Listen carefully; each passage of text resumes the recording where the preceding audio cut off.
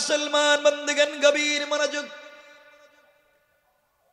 আল্লাহ রাব্বুল ইজ্জত ওয়াল জালাল কোরআনে কারীমের 8 নম্বর পারা সূরা আনআমের 126 নম্বর আয়াত থেকে আল্লাহ রাব্বুল ইজ্জত ওয়াল জালাল ঘোষণা করে দিলেন। 6 নম্বর সূরা সূরা আল আনআমের 126 নম্বর আয়াত থেকে আল্লাহ বললেন ওয়াহাদা صراط ربك مستقيما. قد فصلنا الآيات لقوم يذكرون. لهم دار السلام عند ربهم وهو وليهم بما كانوا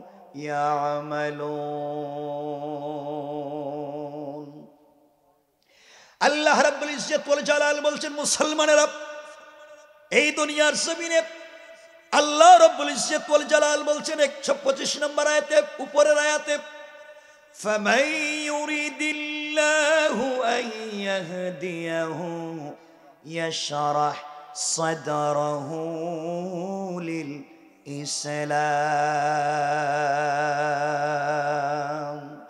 আল্লাহ রব্বুল ইজ্জতুল জালাল বলছেন আল্লাহ রব্বুল ইজ্জতুল জালাল যাকে পথ প্রদর্শন করতে চান তার বক্ষকে ইসলামের জন্য তিনি উন্মুক্ত করে দেন পড়েন সুবহানাল্লাহ এরপরে বললেন ওয়ামাই أن يضله يجعل صدره ضيقا حرجا كأنما يصعد في السماء.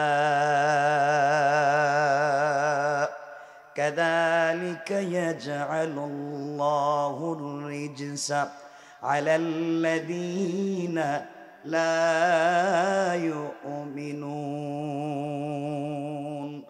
আল্লাহ রাব্বুল ইজ্জত ওয়াল জালাল বলছেন, সারা মুসলমানেরা, এই দুনিয়ার জমিনে আল্লাহ তাআলা যাকে পথ প্রদর্শন করতে চান, হিদায়াতের পথ দেখাতে চান, ভালো পথে নিয়ে আসতে চান, তৌহিদের পথে নিয়ে আসতে চান, রেসালতের পথে নিয়ে আসতে চান, দিনী আন্দোলনের পথে নিয়ে আসতে চায়, আল্লাহ তার দিলকে উন্মুক্ত করে দেয়। সেইনাকে বড় করে দেয়। আল্লাহ তাআলা বললেন, আমি আল্লাহ যাকে হৃদায়ত দিতে চাই, পথ প্রদর্শন করতে চাই, তার বক্ষকে ইসলামের জন্য উন্মুক্ত করে দেই। আর আমি যাকে বিপদগামী করতে চাই, আল্লাহ যাকে বিপদগামী করতে চান, তার বক্ষকে অত্যধিক সংকীর্ণ করে দেন। এমন করে করে দেন, আকাশ থেকে সবেগে আরোহণ করলে যেমন হয়ে যায়, বুঝাতে চাইলেন মুফাসসিরিনে কেরাম এমন হয়ে যায়। একটা সুই একটা সুইয়ের পিছন দিকে, সুচের পিছন দিকে গাদা ঢুকানো যেমন অসম্ভব হয়ে যায়। আমি যদি কাউকে বিপদগামী করতে চাই, তাকেও হেদায়ত দেওয়া পৃথিবীর কোন সৃষ্টির জন্য অসম্ভব হয়ে যায়। কথা বুঝতে পেরেছেন? আল্লাহ যদি কাউকে হেদায়ত দিতে চান, তার সিনাকে দিনের জন্য উন্মুক্ত করে দেয় তার দিলকে দিনের জন্য উন্মুক্ত করে দেয় পড়েন আল্লাহ একবার আর জোরে বলেন আল্লাহ একবার অনেকগুলা কথা হজরত ওমরকে আল্লাহ হিদায়ত দিতে চাইলেন, সিনাকে খুলে দিলেন যে, লোকটা রসুলে পাককে হত্যা করবার জন্য বের হয়েছিল। যে, লোকটা রসুলে পাককে মারতে বের হয়েছিল। মারা তো দূরের কথা। পুরা জিন্দগি রসুলের কদমে দিয়ে ফেলেছে। আল্লাহ একবার পুরা জিন্দগি চলে গিয়েছে। আল্লাহ তাকে হিদায়ত দিতে চাইলেন। আর আল্লাহ যার সিনাকে সংকীর্ণ করে দিয়েছেন বিপদকামী করতে চান। আবুল আহাব রসুলের ঘরে থাকবার পরেও, রসুলের আপন রক্তের চাচা হওয়ার পরেও আল্লাহ তাকে বিপদকামী করে দিয়েছেন।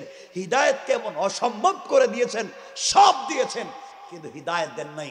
এই সমাজে অনেক লোক আছে, যারা উলামায়ে কেরামকে দেখলে, ইসলামী আন্দোলনের কর্মীদেরকে দেখলে তাদের কলিজায় লাগে, এদেরকে নিশ্চিন্ন করে দিতে চায়। মনে রাখবেন, তাদের হৃদায়তের পথকে আল্লাহ বন্ধ করে দিয়েছেন। ঠিক কিনা বলেন?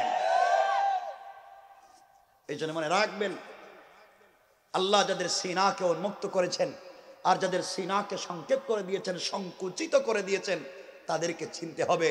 আমার বন্ধুগণ, আজ দেখবেন এই পৃথিবীতে ওলামায় কেরামকে গালি দেওয়া হচ্ছে, মারা হচ্ছে, আঘাত করা হচ্ছে, রক্ত জড়ানো হচ্ছে।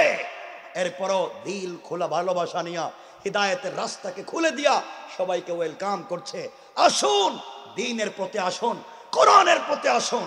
আর কিছু লোক আছে, এই জমিন থেকে দিনকে মুছে দেওয়ার সমূহ ষড়যন্ত্রে লিপ্ত। ঠিক কোন জুড়ে বলেন? এরপরে আল্লাহ রব্বুল ইজ্জতুল জালাল বলছেন আল্লাহ রব্বুল ইজ্জতুল জালাল বলছেন, যারা এই- এইভাবে বিশ্বাস স্থাপন করতে চায় না, আল্লাহ তাদের উপর আজাব বর্ষণ করতে থাকেন।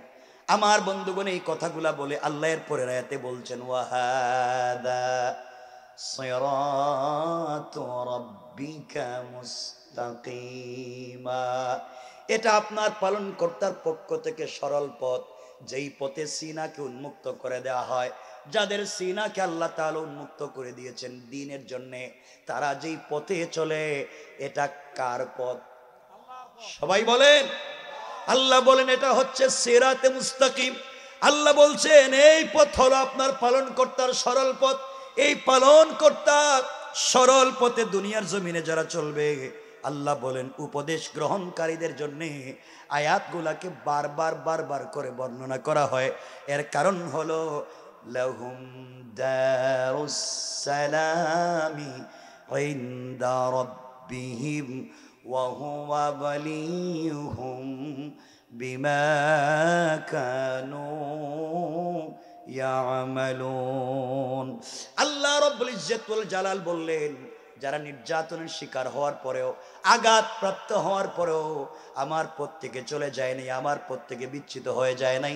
আল্লাহ রব্বুল ইজ্জতুল জালাল বললেন, লাহুম দারুস সালাম, তাদের জন্য রয়েছে আমার কাছে নিরাপত্তার ঘর পড়েন, সুবহানাল্লাহ। জালাল বললেন,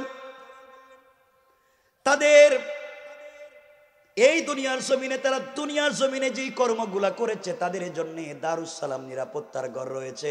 এই ঘরের নিরাপত্তায় থাকব, স্বয়ং আমি আল্লাহ।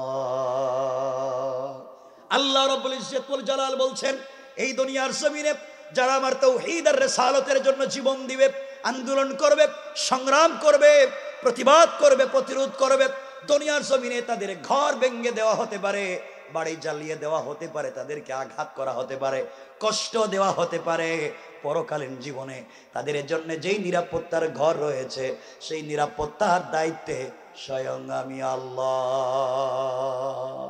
আল্লাহ বলেন।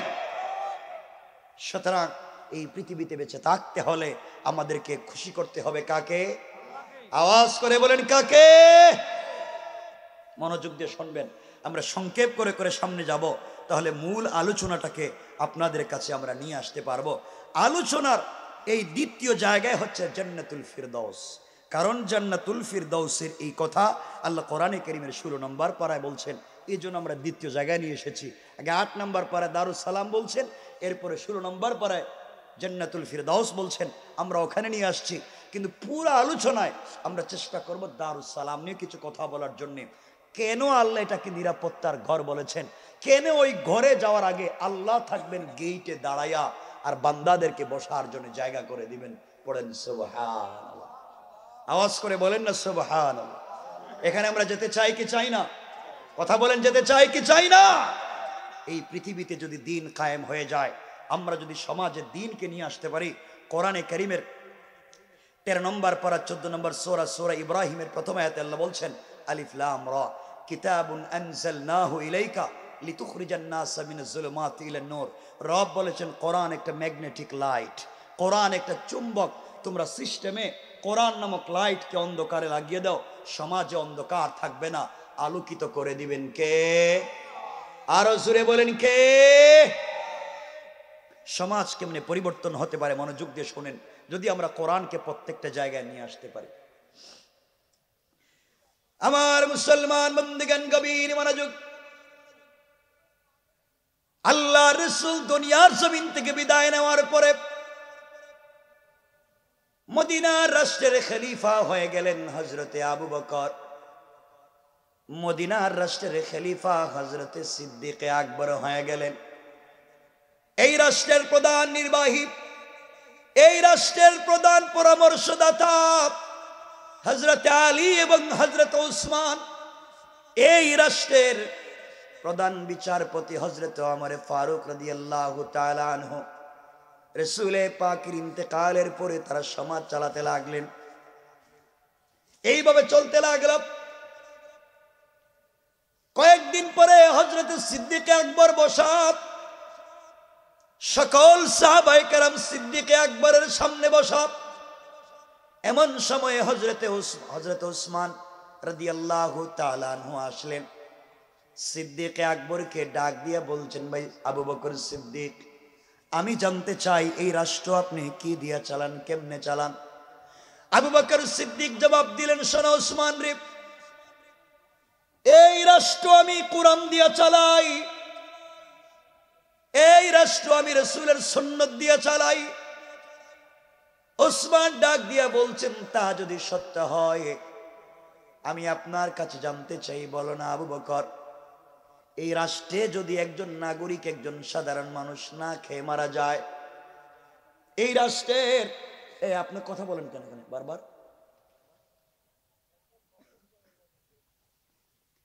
এই রাষ্ট্রে একজন নাগরিক যদি না খেয়ে মারা যায়, এই রাষ্ট্রের ভিতরে কোন মানুষ যদি তার অধিকার না পায়,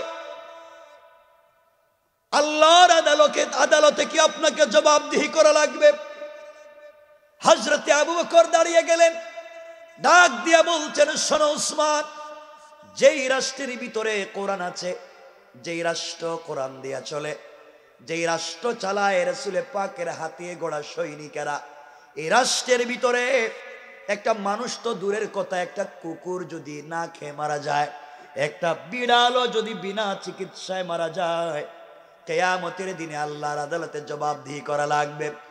এই কথা শোনো ওসমান দাঁড়িয়ে গেলেন। আর বললেন, শোনো আবু বকর, কথা যদি সত্য হয় আমার দিকে তাকান। বৃষ্টি তো এভাবে আসতেই পারে। না পারে না। আসতে তো পারেই। বৃষ্টি ফুটা পড়ার পরে যদি আপনারা দৌড় দেন, তাহলে যুদ্ধের ময়দানে আপনার ইমান কই থাকবে আপনি নিজেও জানেন না। হ্যাঁ বৃষ্টির ফোঁটা পড়লে যদি দিনের ময়দান থেকে আপনি চলে যান, তাহলে পিছনে যদি কামান আর বন্দুক ধরে রাখে তাহলে ইমান তো আর সামনে যাওয়ার কথা না, ইমান তো জায়গায় শেষ। কথা বলেন না কেন? বেশি অসুবিধা হলে আমরাই তো কর্তৃপক্ষ যে ব্যবস্থা করেন, করবেন। কষ্ট হচ্ছে আপনাদের? অসুবিধা হয়? আমার বন্ধুগণ, উসমান বলছেন, আবু বকর, সত্য কথা বলেন। আপনি রাষ্ট্র যদি কোরআন দিয়ে চালান, তাহলে কি অবস্থা হচ্ছে আমি বুঝতে পারতেছি না। আমি আপনার কাছে একটা ভয়ঙ্কর খবর নিয়ে এসেছি। হজরতে আবু বকর বললেন বলো আমি শুনতে চাই, কি বলতে চাও বলো। ওসমান ডাক দিয়ে বলছেন, শোনো আবু বকর, এই মাত্র আমি এসেছি। ওই এলাকা দেখে আসলাম, একজন মহিলার বাড়িতে গেলাম। তিন দিন হয়ে, চার দিন সকাল শুরু হয়ে গিয়েছে। মহিলার ঘরে কোনো খাবার নাই। বৃদ্ধা মানুষ, তার কোনো সন্তান নাই। বিধবা স্বামীও নাই চুকেও দেখেন না অন্ধ। তার ঘরে এই পর্যন্ত কেউ খাবার পৌঁছে দিল না। কেয়ামতের দিনে আল্লাহর আদালতে আপনি কি জবাব দিবেন? আপনি কি চিন্তা করতে পেরেছেন? একজন রাষ্ট্রপতির কাছে সুজা সুজি একজন নাগরিকের খবর পৌঁছে যায় কোনো মাধ্যম ছাড়া। হজরতে আবু বকর দাঁড়িয়ে গেলেন। আর ডাক দিয়ে বলছেন, শোনো উসমান, আমি একজন নতুন খাদেম হয়েছি, এই রাষ্ট্রের নতুন অভিভাবক। আমার কাছে মহিলা সম্পর্কে কোন খবর আসে নাই। সত্যি যেহেতু আপনি দিয়েছেন, আমার ভুল হয়েছে, অন্যায় হয়েছে। আজকে থেকে মহিলার বাড়িতে তিন বেলার খাবার আমি পরিবেশন করার দায়িত্ব নিলাম। হজরতে উসমান বলছেন, শোনো আবু বাকার, এই মহিলার বাড়িতে আপনি তিন বেলার খাবার পৌঁছে দিবেন, এতে কোনো সন্দেহ নাই। কিন্তু আমি জানতে চাই মহিলা বৃদ্ধা মানুষ। তিনি তো চুকে দেখেন না। তার কোনো সন্তান নাই, স্বামীও নাই। কে তাকে রান্না করে দিবে? কে তাকে খাইয়ে দিবে? কে তার ঘরটা মুছে দিবে? কে তার কাপড় ধৌত করবে? কে তার ঘরকে মুছে দিবে এমন তো কোনো লোক নাই। আপনি এই দেশের একজন, এই দেশের খলিফা, সাধারণ পাবলিক কেমনে চলবে তাও তো দেখার দায়িত্ব আপনার। সিদ্দিকে একবার চোখের পানি ছেড়ে দিলেন। আর ডাক দিয়ে বলছেন, ওসমান, শোনো, আমারও মন চায় ওই মহিলার বাড়িতে একজন খাদেম পাঠাইয়া দেই, কর্মচারী দেই। কিন্তু আমার কাছে পয়সা নাই। আমি তো কোনো মানুষকে পয়সা দিয়ে কর্মচারী দিতে পারব না। আর আমার কাছে ফ্রি কোনো খাদেম নাই, বিনা পয়সায় কাজ করবার লোক নাই। সবাই যখন পিনপতন, নিরবতা বিরাজ করছে, সকল বড় বড় সাহাবাই কারাম বসা নেতৃস্থানীয়, দেশের নেতৃস্থানীয় কর্তা ব্যক্তিরা বসা। কোন জবাব আসছে না। হজরত সিদ্দিক একবার দাঁড়িয়ে গেলেন। কারও পক্ষ থেকে জবাব আসছে না। ওসমান দাঁড়িয়ে গেলেন। জবাব আসছে না। এমন সময় ডাইন পার্শ্বে এই রাষ্ট্রের চিফ জাস্টিস প্রধান বিচারপতি বসেছিলেন হজরত আমর আস্তে করে দাঁড়িয়ে গেলেন। আর খলিফাতুল মুসলিমিন, আমিরুল মুমিনিন হজরতে আবু বকরকে করজোড়ে নিবেদন করে বলছেন, আমিরুল মুমিনিন, আমি এই রাষ্ট্রের প্রধান বিচারপতি আপনার কাছে সম্মানপূর্বক সবিনয় নিবেদন করছি। আপনি ওই মহিলার বাড়িতে কাজ করবার জন্যে বিনা পয়সায়, বিনা পারিশ্রমিকে কোনো কর্মচারী পাচ্ছেন না। এই মুহূর্তে বিনা পয়সায়, বিনা পারিশ্রমিকে আমাকে কর্মচারী বানাইয়া দিতে পারে আল্লাহ একবার বলে। একটা রাষ্ট্রের প্রধান বিচারপতি একজন সাধারণ নাগরিকের বাড়িতে বিনা পয়সায় কাজ করতে চায় অথচ এই লোকটা রসুলের পাককে মারবার জন্য বের হয়েছিল তরবারি হাতে নিয়ে আর আজ বিনা পয়সায় কাজ করতে চায়। এই পরিবর্তন করেছে একমাত্র কেবলমাত্র আল কোরআন। রব বলেছেন কোরআন একটা ম্যাগনেটিক লাইট। কোরআন যার সংস্পর্শে চলে আসে সে আর সাধারণ মানুষ থাকতে পারে না আল্লাহর পূর্ণাঙ্গ গোলামে পরিবর্তন হয়ে যায়। ঠিক কিনা বলেন?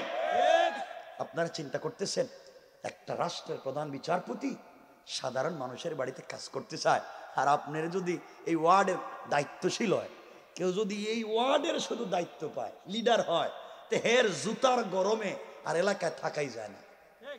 কথা বলেন না কেন? আমার বন্ধুগণ কথাগুলো দিল দিয়া শোনালে এমনি বলেন নাই, দারুস সালাম, তাকে নিরাপত্তার গড় দিবেন এমনি বলেন নাই। হজরতে আবু বকর জড়িয়ে দিলেন আমারকে আর ডাক দিয়ে বলছেন, ভাই আমার তোমার কাছে জানতে চাই, তুমি নেই রাষ্ট্রের প্রধান বিচারপতি, চিফ জাস্টিস। তুমি যদি মহিলার বাড়িতে কাজে চলে যাও, রাষ্ট্রের এতগুলা দায়িত্ব কেমনে আদায় করবেন আমি জানতে চাই, চিন্তা করেন। হজরত আমার বলছেন, খালিফাতুল মুসলিমিন অফিসিয়াল তো একটা টাইম আছে। আমি সকালবেলা ঘর থেকে বের হয়ে ফজরের সালাদ পড়ে মহিলার বাড়িতে কাজ করে দিব এবং সন্ধ্যার সময় অফিস করে বাড়িতে যাওয়ার সময় মহিলার বাড়িতে কাজ করে দিব। বিনিময়ে আল্লাহ নিরাপত্তার গড়ে আমিও যেতে চাই। আল্লাহ হজরতে আবু বকর ডাক দিয়ে বলছেন, শোনা আমার স্বেচ্ছায় দায়িত্ব নিয়েছ। ঠিক মতো যদি তুমি দায়িত্ব আদায় না করো, তুমি আমার আদালতে প্রত্যেক সপ্তাহে সপ্তাহে জবাবদিহি করা লাগবে। কেয়ামতের ময়দানে আল্লাহর আদালতে রসুলে পাকের সামনে তোমাকে আসামির কাঠ দাঁড় করাইয়া দেব। প্রধান বিচারপতি সকালবেলা পরের দিন অফিসে যাওয়ার আগে ফজরের সালাদ পড়ে নাস্তা করলেন।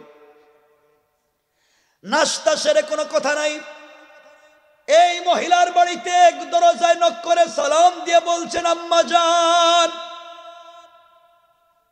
আমি আপনার বাড়ির নির্ধারিত খাদেম রাষ্ট্রের পক্ষ থেকে আমাকে কর্মচারী নিযুক্ত করা হয়েছে, মা। বলেন না, কি কাজ করে দেওয়া লাগবে আপনার ঘরে, কি কাজ? মহিলা জবাব দিচ্ছেন, যুবক রে, কে তোমাকে চিনতে পারলাম না বাবা। আমি তো চুকে দেখি না।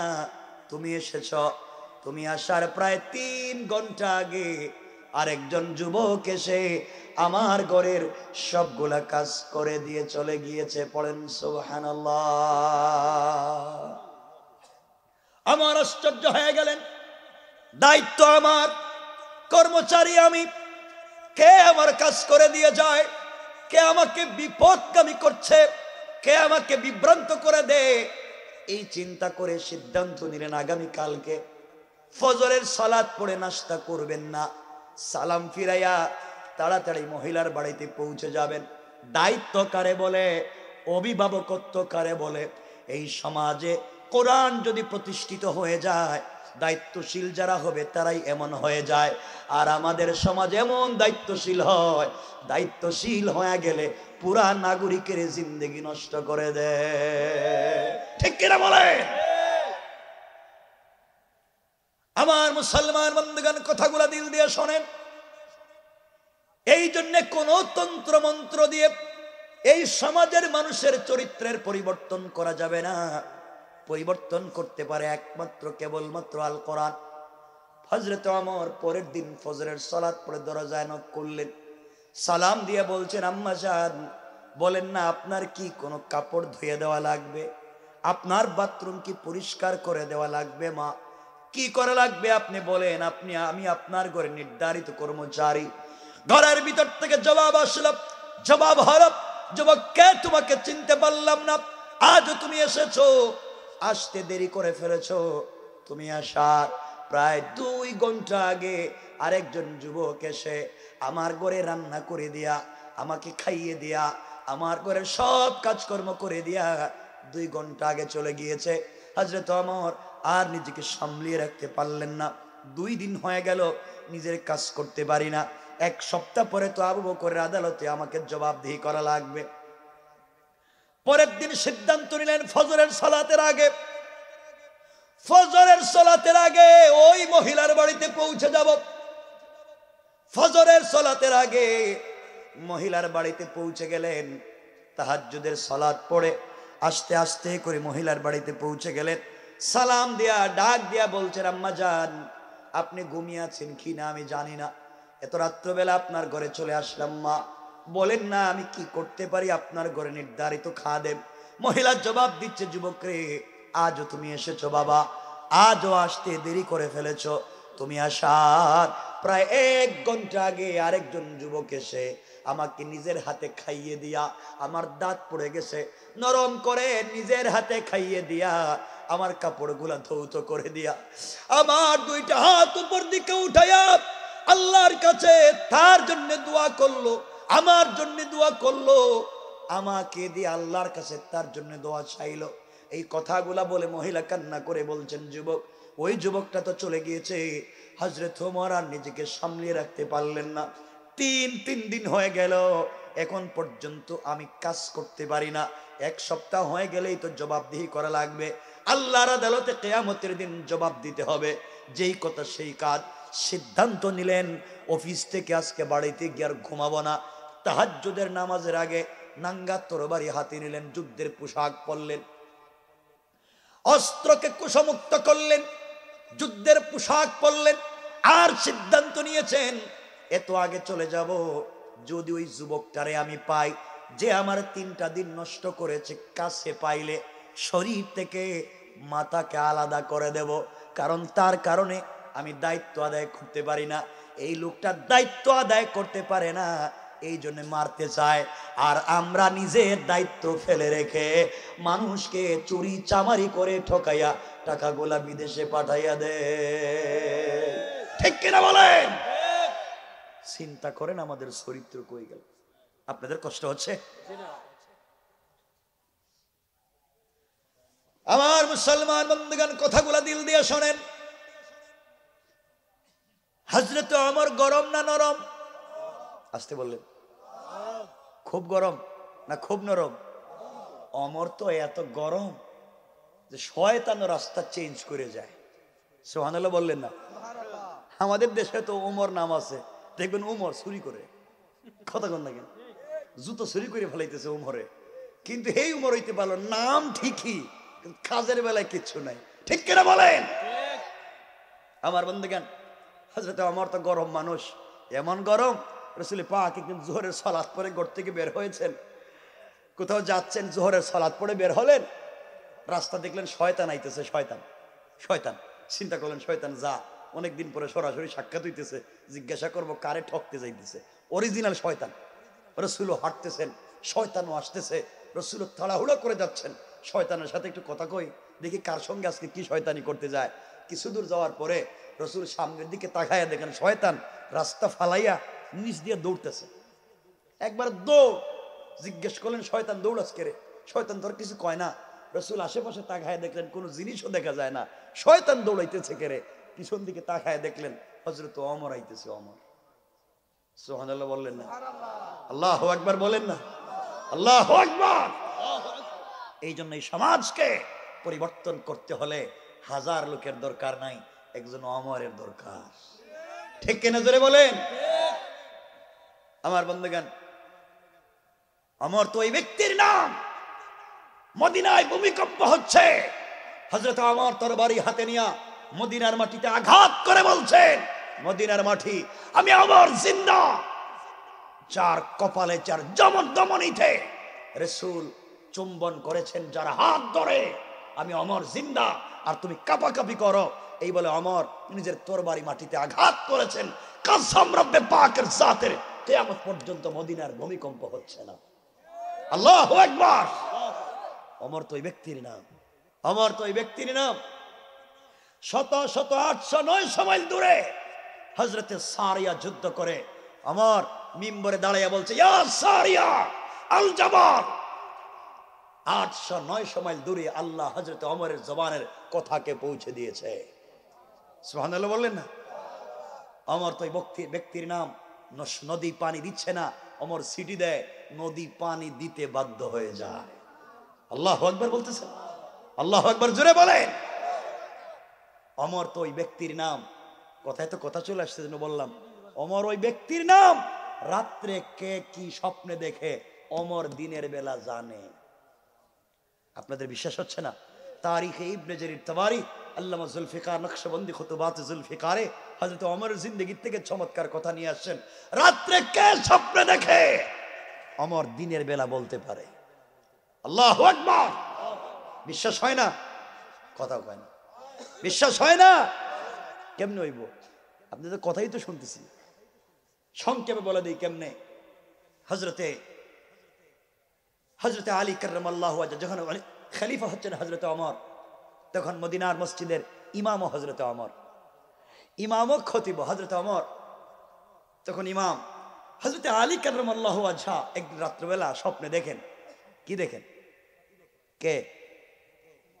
উমর কইলাম, আলী, আপনারা কইছে আসেন এতক্ষণ?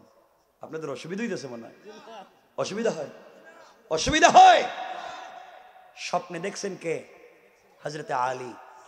আলী স্বপ্নে দেখতেছেন? ঘুমের ভিতরে স্বপ্নে দেখতেছেন। রসুল পাক সাল্লাহ ইসলাম ফজরের নামাজের ইমামতি করতেছেন। সুমানরা বললেন রসুল পাক ফজরের নামাজের ইমামতি করতেছেন। আর আলী নামাজে এক রাকাত ফেল করছে, স্বপ্নে দেখতেছে। এক রাকাত ফেল করছে, পান নাই, মসজিদে গিয়ে সবার পিছনে দাঁড়াইছে। হজরতে আলী, স্বপ্নে দেখেন, নামাজ শেষ করে আলী বসে আছেন সাহাবাই কারাম বসে আছেন। এমন সময় একজন মহিলা তার গাছের বাগানের পয়লা খেজুর, বাগানে প্রথম খেজুর আসছে খেজুর একটা স্তূপ নিয়া, একটা ডাল নিয়া হজরতে আলীর হাতে দিয়ে বলছে, আলী, ওটা তুমি হজরতে রসুল পাকের হাতে দেও, তিনি যেন খান তার সাহাবিদেরকে খাওয়ান, এটা আমার গাছের পয়লা খেজুর। তিনি খাইলে, আর একরাম কারাম খাইলে আমার বরকত হবে, একটু দেও না। হজরত আলী দেখেন, তিনি এই খেজুরগুলো স্বপ্নে দেখেন রসুলের পাকের হাতে দিয়েছেন। রসুল সবাইকে নিজের হাতে বন্টন করে দিলেন, আলীরও একটা দিলেন, আলী সেটা মুখে দিয়েছেন। মুখে দিয়ে চাবাচ্ছেন, স্বপ্নে দেখতেছেন। এমন সময় আলীর কানে মদিনার মসজিদের আওয়াজ হলো, আজান হলো। আলীর ঘুম ভেঙে গেল। ঘুম ভেঙে যাওয়ার পরে দেখে রসুলের দেওয়া স্বপ্নে খেজুরের স্বাদ এখনও আলীর জিব্বায় রয়ে গেছে। সুহান্দাল্লাহ তো আসতে বললেন? আলী তাড়াতাড়ি অজু করছে। অজু করে চিন্তা করে স্বপ্নে কি দেখলাম কি দেখলাম কি দেখলাম? হজরতে আলী মসজিদে নবাবিতে চলে গিয়েছে। গিয়ে দেখে হজরত আমর নামাজ পড়াচ্ছেন, এক- রাকাত চলে গেছে। হজরতে আলী নামাজ দাঁড়িয়ে গেলেন। সালাম, ফিরানো হলব নামাজ শেষ হলব হজরতে আলী পিছনে বসে আছেন হজরত আমর সামনে বসে আছেন। বাস্তব কথা আলী দেখেন, হঠাৎ করে একজন মহিলা তার বাগানের খেজুর বাগানের একটা স্তূপ নিয়ে, ডাল নিয়ে এসে বলছে, আলী এই খেজুরগুলা তুমি নেও হজরত অমরের কাছে দাও। অমর যেন খেজুরগুলা খান, তার সাথী বন্ধুদেরকে খাওয়ান। এটা আমার গাছের প্রথম খেজুর। তিনি এবং সাহাবায় কেরাম খেলে বরকত হয়ে যাবে। হজরতে আলী খেজুরগুলো নিয়ে অমরের কাছে দিলেন। আর বলছেন বা একজন মহিলা দিয়েছেন। আপনি বন্টন করে দেন মহিলার গাছের বাগানের প্রথম খেজুর। হজরতে অমর খেজুরগুলা হাতে নিলেন। এক একটা করে সবাইকে বন্টন করে দিতে লাগলেন খেজুরের বড় স্বাদ। আলীর আলীর হাতেও হজরতে অমর একটা খেজুর দিলেন।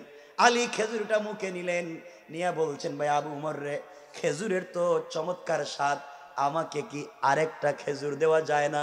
এত স্বাদের খেজুর, একটা একটা করে দিতেছেন সবাই রে, আমাকে কি আরেকটা খেজুর দেওয়া যায় না? অমর দাঁড়িয়ে বলছেন, আলী রে, আল্লাহর রসুল যাকে স্বপ্নে একটা খেজুর দিয়েছে, আমি তাকে দুইটা দিতে পারি না। আল্লাহ খবর বলেন। হজরতে আলী আশ্চর্য, রাত্র স্বপ্নে দেখলাম আমি এখনও কারও কাছে কোনো কথাই বলি নাই, মাত্র আসছি, অমর দিকে এই কথা বলতেছে, আল্লাহ একবার তুমি এই পর্যায়ে পৌঁছে যাও। আমরের পর্যায়ে পৌঁছে যাও। আমার বন্ধুগণ, আজকে আমরা নোংরামি করে হারামকে জিন্দগি নষ্ট করে দিচ্ছি। আমার ভাইরা, কষ্ট হচ্ছে আপনাদের? কষ্ট হয়। এই হজরত আমর। এই হজরত আমর। ওই আমর বলছেন, ভাই, কি বলতে চাও? তিন দিন হয়ে গেল, আমি দায়িত্ব আদায় করতে পারি না। চতুর্থ দিন নাঙ্গা তোর বাড়ি হাতে নিয়া কুশমুক্ত তোর বাড়ি নিয়া আস্তে আস্তে করে মহিলার বাড়িতে পৌঁছে গেলেন। দরজার সামনে দাঁড়াইয়া গেলেন। দরজার সামনে দাঁড়াইয়া দেখে মহিলার ঘরের ভিতরে মিটমিট করে আলো জ্বলে। বুঝতে পারলেন, এখন পর্যন্ত ঘরের ভিতরে কে বাকি আছে? কান পেতে শুনলেন, ঘরের ভিতরে একটা মধ্যম বয়সী মানুষের কথা শোনা যায়। হাজরত আমার অন্ধকারে দাঁড়িয়ে থাকলেন তরবারি হাতে নিয়ে। কিছুক্ষণ পরে একটা যুবক ওই ঘরের ভিতর থেকে আস্তে করে বের হয়ে চলে যায়। হজরত আমার চিৎকার করে বলছেন, যুবককে, তুমি দাঁড়িয়ে যাও। আমি অমর বলছি, আমার হাতে কিন্তু নাঙ্গা তরবারি। আঘাত করলে শরীর থেকে মাথা আলাদা হয়ে যাবে। দাঁড়িয়ে যাও। অমরের গর্জন শুনে আগন্তুক দাঁড়িয়ে গেলেন, যেখানে ছিলেন। হাত উপর দিকে উঠাইয়া মাথাটা নিচের দিকে করে সারেন্ডার হয়ে দাঁড়িয়ে গেলেন। আস্তে আস্তে করে হজরতে অমর কাছে পৌঁছে গেলেন। অমর কাছে গিয়ে নিজেকে সামলিয়ে রাখতে পারলেন না। কাঁপতে কাঁপতে হাতের তরবারি ফেলে দিলেন। হাউমাউ করে কান্নায় ভেঙ্গে পড়লেন। তাকাইয়া দেখে তার সামনে যিনি উপর দিকে হাত উঠাইয়া সারেন্ডার হয়ে দাঁড়িয়ে আছে, তিনি আর কেউ না। এই রাষ্ট্রের খলিফা হজরতে আবু বকর। আল্লাহ আবু বকর দাঁড়িয়ে আছেন। জড়িয়ে ধরলেন আবু বকর। আবু বকরকে আমার আর চোখের পানি ছেড়ে বললেন, ভাই আবু বকর রে, আপনি রাষ্ট্রের খলিফা। আপনি কেন ঘর থেকে বের হলেন? আপনি না দায়িত্ব আমাকে দিয়েছেন মহিলার বাড়িতে কাজ করার জন্য। আপনি কেন মহিলার ঘর থেকে বের হলেন? নিশ্চয় এই তিন দিন আপনি কাজ করে দিলেন। আবু বকর চোখের পানি ছেড়ে বলছেন, ভাই অমর রে, আল্লাহ তোমার আগে আমাকে খালিফা বানিয়েছে, তোমার আগে আমাকে দায়িত্ব দিয়েছে। কেয়ামতের দিন দায়িত্ব সম্পর্কে আমাকে জিজ্ঞাসা করবে। আল্লাহ তোমার আগে আমাকে জিজ্ঞাসা করবে, দায়িত্ব আমাকে দিয়েছে। তোমার আগে আমি আল্লাহর আদালতে জিজ্ঞাসিত হব। এই চিন্তা যখন ভিতরে ঢুকে যায়, আমি যখন গভীর রাত্রে ঘুমাতে যাই বিছানায় পিঠ লাগিয়ে ঘুমাতে পারি না। জবাবদিহিতার ভয় আমার ভিতরে ঢুকে গিয়েছে। আল্লাহর কাছে কি জবাব দিব? মহিলার করে তিন দিন খাবার দিতে পারলাম না। তোমাকে দায়িত্ব দিয়েছে ঠিক মতো যদি আদায় না করো, তোমার কি হবে? জবাব তো আমাকে দেওয়া লাগবে, আমি তো রাষ্ট্রের খেলিফা। এই জবাবদিহিতার ভয় যখন ঢুকে যায়, পিঠ লাগাইয়া ঘুমাতে পারি না। মহিলার বাড়িতে কাজ করে দিয়ে চলে যায় আমার ডাক দিয়ে বললেন সোনা আবু বকর কথা যদি সত্য হয়, তোমার পায়ে জুতা নাই কেন? জুতা ছাড়া কেন তুমি ওই মহিলার বাড়িতে এসেছ? আবু বকর চোখের পানি ছেড়ে বলছেন, ভাই অমর রে, আমি রাষ্ট্রের খলিফা হতে পারি, এতে সন্দেহ নাই। কিন্তু আমি গরিব মানুষ, আমি যে চামড়ার জুতা পরবো, এই পরিমাণ পয়সা নাই। আমি তো খড়মের জুতা পরি, কাঠের জুতা পরি। মদিনার পাথরের মাটিতে আমি যদি কাঠের জুতা খড়ম পরে হাঁটি খট খট আওয়াজ হবে, কত মানুষের ঘুম ভেঙে যাবে, কত মানুষের ইবাদত নষ্ট হয়ে যাবে। এই চিন্তা করে আমি আবু বকর পায়ে জুতা দেই না। আল্লাহ একটা রাষ্ট্রের খালিফা পায়ে জুতা দিতে পারে না, পয়সা নাই। আর তুমি দুই দিনের দায়িত্বশীল হইয়া দুইশোটার উপরে বাড়ি বানাও বিদেশে, শয়তানি করো পাবলিকের সাথে না। কথা বলেন না কেন? টাকা কোথায় পাও? জনগণের রক্ত চুষে। তোমরা শুধু কলা গাছের মতো মোটা হচ্ছ, মনে রাখবা, একদিন তোমাদেরকে আল্লাহর আদালতে জবাব দেওয়া লাগবে। ঠিক কিনা বলেন? কষ্ট হচ্ছে আপনাদের? অসুবিধা হয়? সুতরাং এই পরিমাণ দায়িত্বশীল যদি হয়ে যায়, রব বলেছেন, লাহুম দার সালাম তার জন্য আমি রেখে দিয়েছি নিরাপত্তার ঘর। পড়েন না সুবহান আর জোরে পড়েন না, সুবহান। কষ্ট হচ্ছে আপনাদের? এই যে আপনারা বসে রয়েছেন বাবা, অলি অলিমের মতো বসে রয়েছেন দাড়ি টুপি লাগাইয়া বসে রয়েছেন আল্লাহর অলির মতো। এগুলা দিয়ে কি করতে চান এই ভাব দইরা কই যাইতে চান কিছু কন না? ভাব দইরা কই যাইতে চান কিছু কয় না? হ্যাঁ? ভাব ধরছেন দাড়ি দেখেন, আমিও রাখছি, আপনারাও রাখছেন। দেখতে তো আল্লাহর অলির মতো মনে হয়। এই ভাব ধরলেই জান্নাতে যাওয়া যাবে না।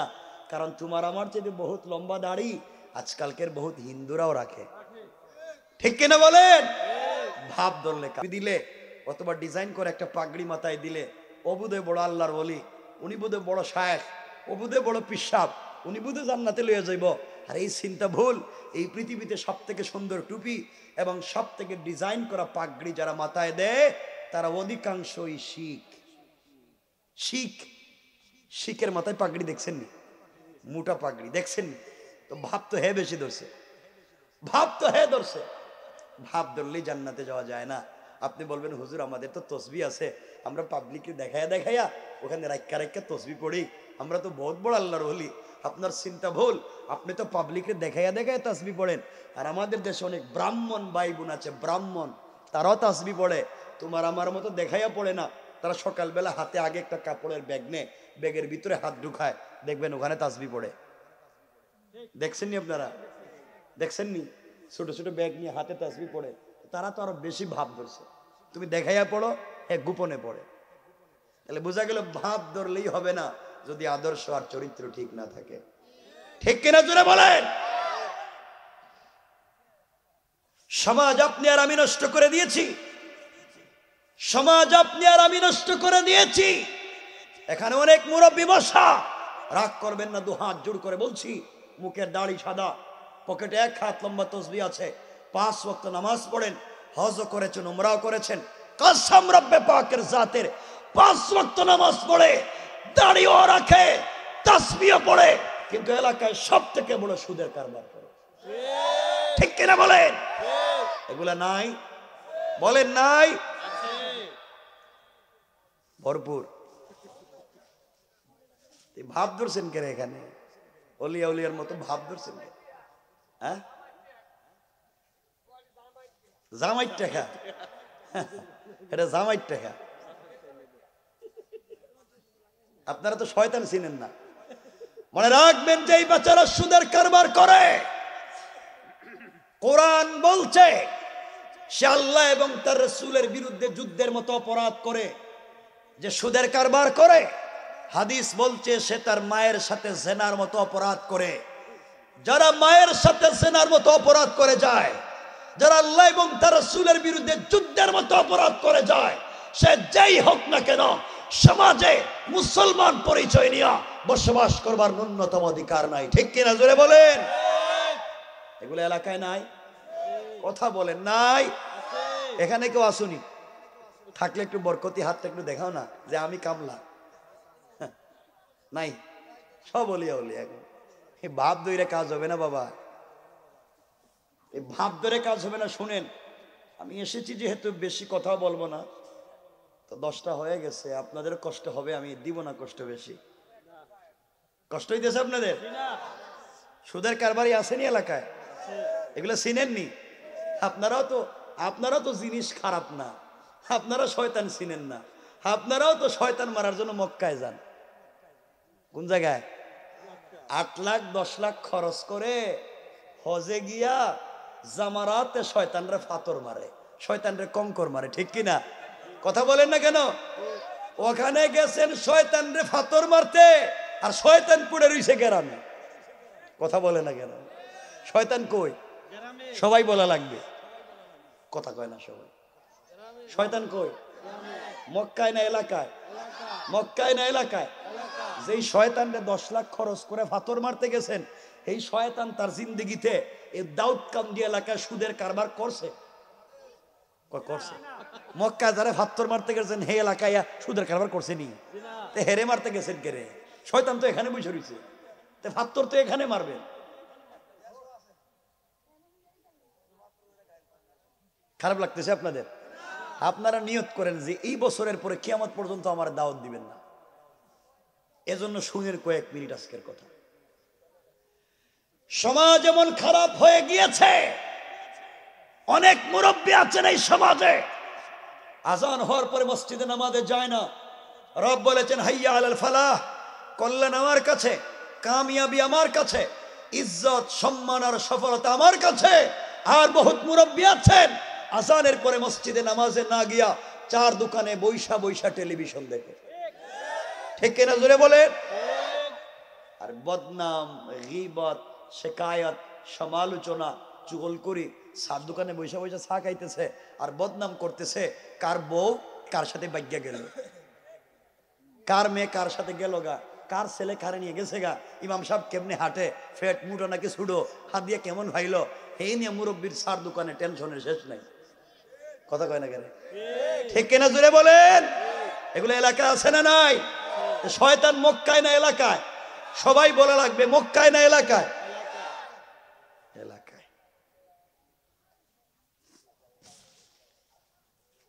এমন আল্লাহর ওলি এলাকায় আছে। এই দাউদ কান্দিতে আছে। পাঁচ ওয়াক্ত নামাজ পড়ে, আউয়াবিন পড়ে চাষ পড়ে, ইশরাক পড়ে, ফজরের নামাজ জামাতে পড়ে, রুটিন মতো কোরআন শরীফ পড়ে, এরপরে আল্লাহর নামের জিকির কইরা কুদাল একটা কান্দে নে, আল্লাহর নামের জিকির কইরা করা জমিতে যায়, আর আল্লাহর নামের জিকির কইরা আরেকজনের আইল কাইটে ঢুকাইয়া দেয়। কথা বলেন না কেন? এগুলো বুধ এলাকায় নাই। এগুলোও আছে। আইল কাইটে ঢুকায় দেয়, এমন লোক নাই শয়তান মক্কায় না এলাকায়। আপনারাও তো সালাক কম হেখানে গেছেন শয়তান মারতে। আর শয়তান ওনা আইল কাটতেছে। কেমন খারাপ হয়ে গেছি আমরা। কেউ উঠবেন না কিন্তু বসে থাকেন। বসে রয়েছেন, ভালো হয়েছে। কেউ যদি উঠেন, বুঝব আপনি হে কাজ করছেন। এজন্য আল্লাহর তো বসে থাকেন। পশ্রাবে ধরলো যেতে পারবেন না। কষ্ট হয়? কষ্ট হয়? এমনও লোক সমাজে আছে যারা ভিলেজ পলিটিক্স করে, এলাকার রাজনীতি করে, এলাকার মডল, এলাকার মাতবর, এলাকার বিচারী পঞ্চায়েতের বড় মুরব্বী, এলাকার সর্দার। কসম রব্বে পাকের জাতের এলাকায় এমন মুরব্বী আছে যারা পঞ্চায়েতের বিচার করতে গিয়া এক কাপ রং চা খাইয়া এদিকের বিচার কে দিকে দিয়ে। ঠিক কেনা জুড়ে কর এগুলো এলাকায় নাই? এটা এলাকায় নাই? শয়তান ছিলেন এমনও মুরব্বী আছে, হাতে পাঁচশো টাকা বা এক হাজার টাকা দিয়ে দিলে, দেখবেন ডাইনের বিচারে বাম বানাইয়া দিছে, পুরা বিচারই খায়া ফেলাইছে। কথা কন? এগুলো আসেনি আপনাদের এলাকায়? আছে? এমনও মুরব্বী আছে? গরিবের জায়গা জমি নিজের নামে বুয়া জাল, দলিল বানাইয়া খায়, এতিমের সম্পত্তি মাইরা খায়, পরের সম্পত্তি নিজের নামে বুয়া জাল, দলিল করছে, নাম জারি করে ফেলছে, গরিবের রাস্তায় নামাইয়া দিছে, সব খাইয়া শেষ পর্যন্ত এখানে আল্লাহর ওলির মতো বসে রয়েছে কথা কন না কেন? সমাজ কত নোংরা। আমি কি বলতাম আপনারাও খারাপ পাইবেন আমারে। এজন্য সব বলতে পারতেছি না। কি অলিয়া উলিয়ার মতো বসে রয়েছে না কেন? খারাপ লাগতেছে আপনাদের? অসুবিধা কার হইতেছে? একটু হাত তুলে দেখেন না। কার কার অসুবিধা হইতেছে? অসুবিধা তো হওয়ার কথা, এটা আমি বুঝতেছি। বন্ধুগণ, এখানে মুরব্বি যারা বসছে, এরা হয়তো জোরে কিছু কইতেছে না। যদি বাবা হার্ট অ্যাটাক কইরা মরে যায়। জুয়ান যারা বসছে যে মাঝে মাঝে যুবক, বাবা তোমরা কিছু কথা কোনা? গেলে যুবক যারা বসছে, কথা কোনা? গেলে বলবা তো ইনশাল্লাহ এরাও জোরে কয় না ইনশাল্লাহ আরও জোরে কন ইনশাল্লাহ কারণ যুবকরা তো খারাপের খারাপ। এরা খারাপের খারাপ। এরা কত খারাপ আপনারা বুঝবেন না এটা আমি জানি। কারণ এরা যে কত খারাপের খারাপ। আজকালকার যুবকেরা দেখবেন চুল কাটে, চুল চুল কাটে। বাংলা লিঙ্ক কাটিং ডিজাইন ডিজাইনের নাম বাংলা লিঙ্ক কাটিং চুল এখানে নাই, ওখানে নাই ওখানে নাই। চুল সব কাইটটা খালি কইরা মধ্যখানে রাখা দিছে। মনে হয় ছাগল ঘাস খাইয়া মাঝখানে জমা করে থুইছে। আছে না নাই? এই আশেপাশেই আছে, দেখেন। মাথায় হাত দিতেছে, দেখেন একটু। এগুলো আছে না? এরপরে দেখবেন অনেক যুবক আছে, মহিলা কলেজের ছুটি হইলে মোটর সাইকেল একটা নিয়ম কলেজের গেটে গিয়ে বসে থাকে। তোমার হেখানে কাম কি? তুমি কি এখানে ফারাদার নাকি তা? আল্লাহ আমাদেরকে হেফাজত করে বলে না আমিন। সবাই জোরে আওয়াজ করে বলে না আমিন। এই জন্য আল্লাহর গোলাম, এই সমাজকে নষ্ট করা যাবে না। আমরা চাই রসুলে পাক যেমন যেই সমাজ বিনির্মাণের চেষ্টা করে জীবন যৌবন দিয়েছেন আমরা এমন একটা সমাজ চাই কি চাই না? বলেন চাই কি চাই না? সংক্ষেপ করে করে সামনের দিকে নিয়ে যেতে চাই। আলোচনা অনেক লম্বা খুব লম্বাও করতে চাই না। আপনারা যদি বসেন খুব লম্বা করব না। সংক্ষেপ করে করে সামনের দিকে নিয়ে যাব ইনশাল্লাহ আমি শুধু এতটুকুন আপনাদের কাছকে বলব এই নোংরা সমাজকে ভালো বানাবার দরকার আছে না নাই? সামনের দিকে যাই। আল্লাহ রব্বুল ইজ্জত ওয়াল জালাল বলে দিয়েছেন গোলামের দল সনব এই দুনিয়ার জমিনে নোংরা সমাজকে যদি ভালো বানাতে হয়, এই সমাজকে যদি সুন্দর বানাতে হয়, আল্লাহ রব্বুল ইজ্জতুল জালাল কোরআনে চার চারটা কোয়ালিটির কথা বলছেন, চার চারটা গুণের কথা বলছেন, চার চারটা গুণ যার ভিতরে থাকবে সে আল্লাহর গোলাম। তাকে দিয়ে সমাজের পরিবর্তন সম্ভব যার ভিতরে নাই, তাকে দিয়ে হবে না। এই কথা বলে আমরা মূল আলোচনাকে সংক্ষেপ করব। আল্লাহ রব্বুল ইজ্জত ওয়াল জালাল কোরআনে কারীমের 19 নম্বর পারা 25 নম্বর সূরা সূরা আল ফুরকানে 63 নম্বর আয়াত থেকে আল্লাহ বললেন, আবার আল্লাহ বললেন, ওয়া ইবাদুর রহমানিল্লাযীনা ইয়ামশুনা আলাল আরদি হাওনা আমার আল্লাহ বলেন, মুসলমানেরা এই দুনিয়ার জমিনে যারা আমি আল্লাহর গোলাম দাবি করবে, আশিক রসুল দাবি করবে, আমি আল্লাহর গোলাম যারা দুনিয়ার জমিনে মনে করবে গোলামের দল, আমার গোলাম যারা দুনিয়ার জমিনে হয়ে যাবে, গোলামের এক নম্বর কোয়ালিটি হলো, এই গোলাম দুনিয়ার জমিনে চলার পথে কোনোদিন অহংকার করতে পারে না। কি করতে পারে না? সবাই বলেন না। বাবা, না বুঝলে আবার বলব। না বুঝলে আবার বলব। এখানে সময় কাটাতে বসি নেই। আমি যদি না বুঝাতে পারি, তা আমি এই চেয়ারের যোগ্য না, আমি ব্যর্থ। এখানে তিনি বসবেন, যিনি আপনাদেরকে বোঝাতে পারবেন। এজন্য আপনাদেরকে বুঝতেই হবে, না বুঝলে আবার বলব। বলেন আল্লাহর গোলামের এক নম্বর কোয়ালিটি অহংকার করা যাবে। সবাই বলেন যাবে। আপনারা করেননি? এই এলাকার ভিতরে আল্লাহ যাদেরকে টাকার মালিক বানিয়েছেন, কান খাড়া করে শোনেন। পয়সার মালিক বানিয়েছেন, সম্পদের মালিক বানিয়েছেন, গাড়ির মালিক, বাড়ির মালিক বানিয়েছেন, মিল ফ্যাক্টরির মালিক, সম্পদের মালিক বানিয়েছেন। আপনার ছেলে মেয়ে ইউরোপ, আমেরিকা থাকে, পয়সার অভাব নাই। আপনি যদি সম্পদের কারণে দুনিয়ার জমিনে অহংকার করে বসেন। আমার আল্লাহ চাইলে দশ তলা থেকে থাবড়াইয়া গাছতলায় নামাইয়া দিতে। আমার আল্লাহর এক মিনিটও দেরি হবে না কণ্ঠে কিনা? আল্লাহ পারবে? বলেন পারবে? আর যদি আপনি নিজেকে ছোট বানাইয়া ফেলেন, আপনি নিজেকে ছোট মনে করেন, আমার আল্লাহ চাইলে কান ধরে বাসতলা থেকে, গাছতলা থেকে দশ তলার মালিক বানাইয়া দিতে। আমার আল্লাহর এক মুহূর্ত দেরি হবে না, কোন ঠিক কিনা? এই জন্য অহংকার করা যাবে? সবাই বলেন, যাবে।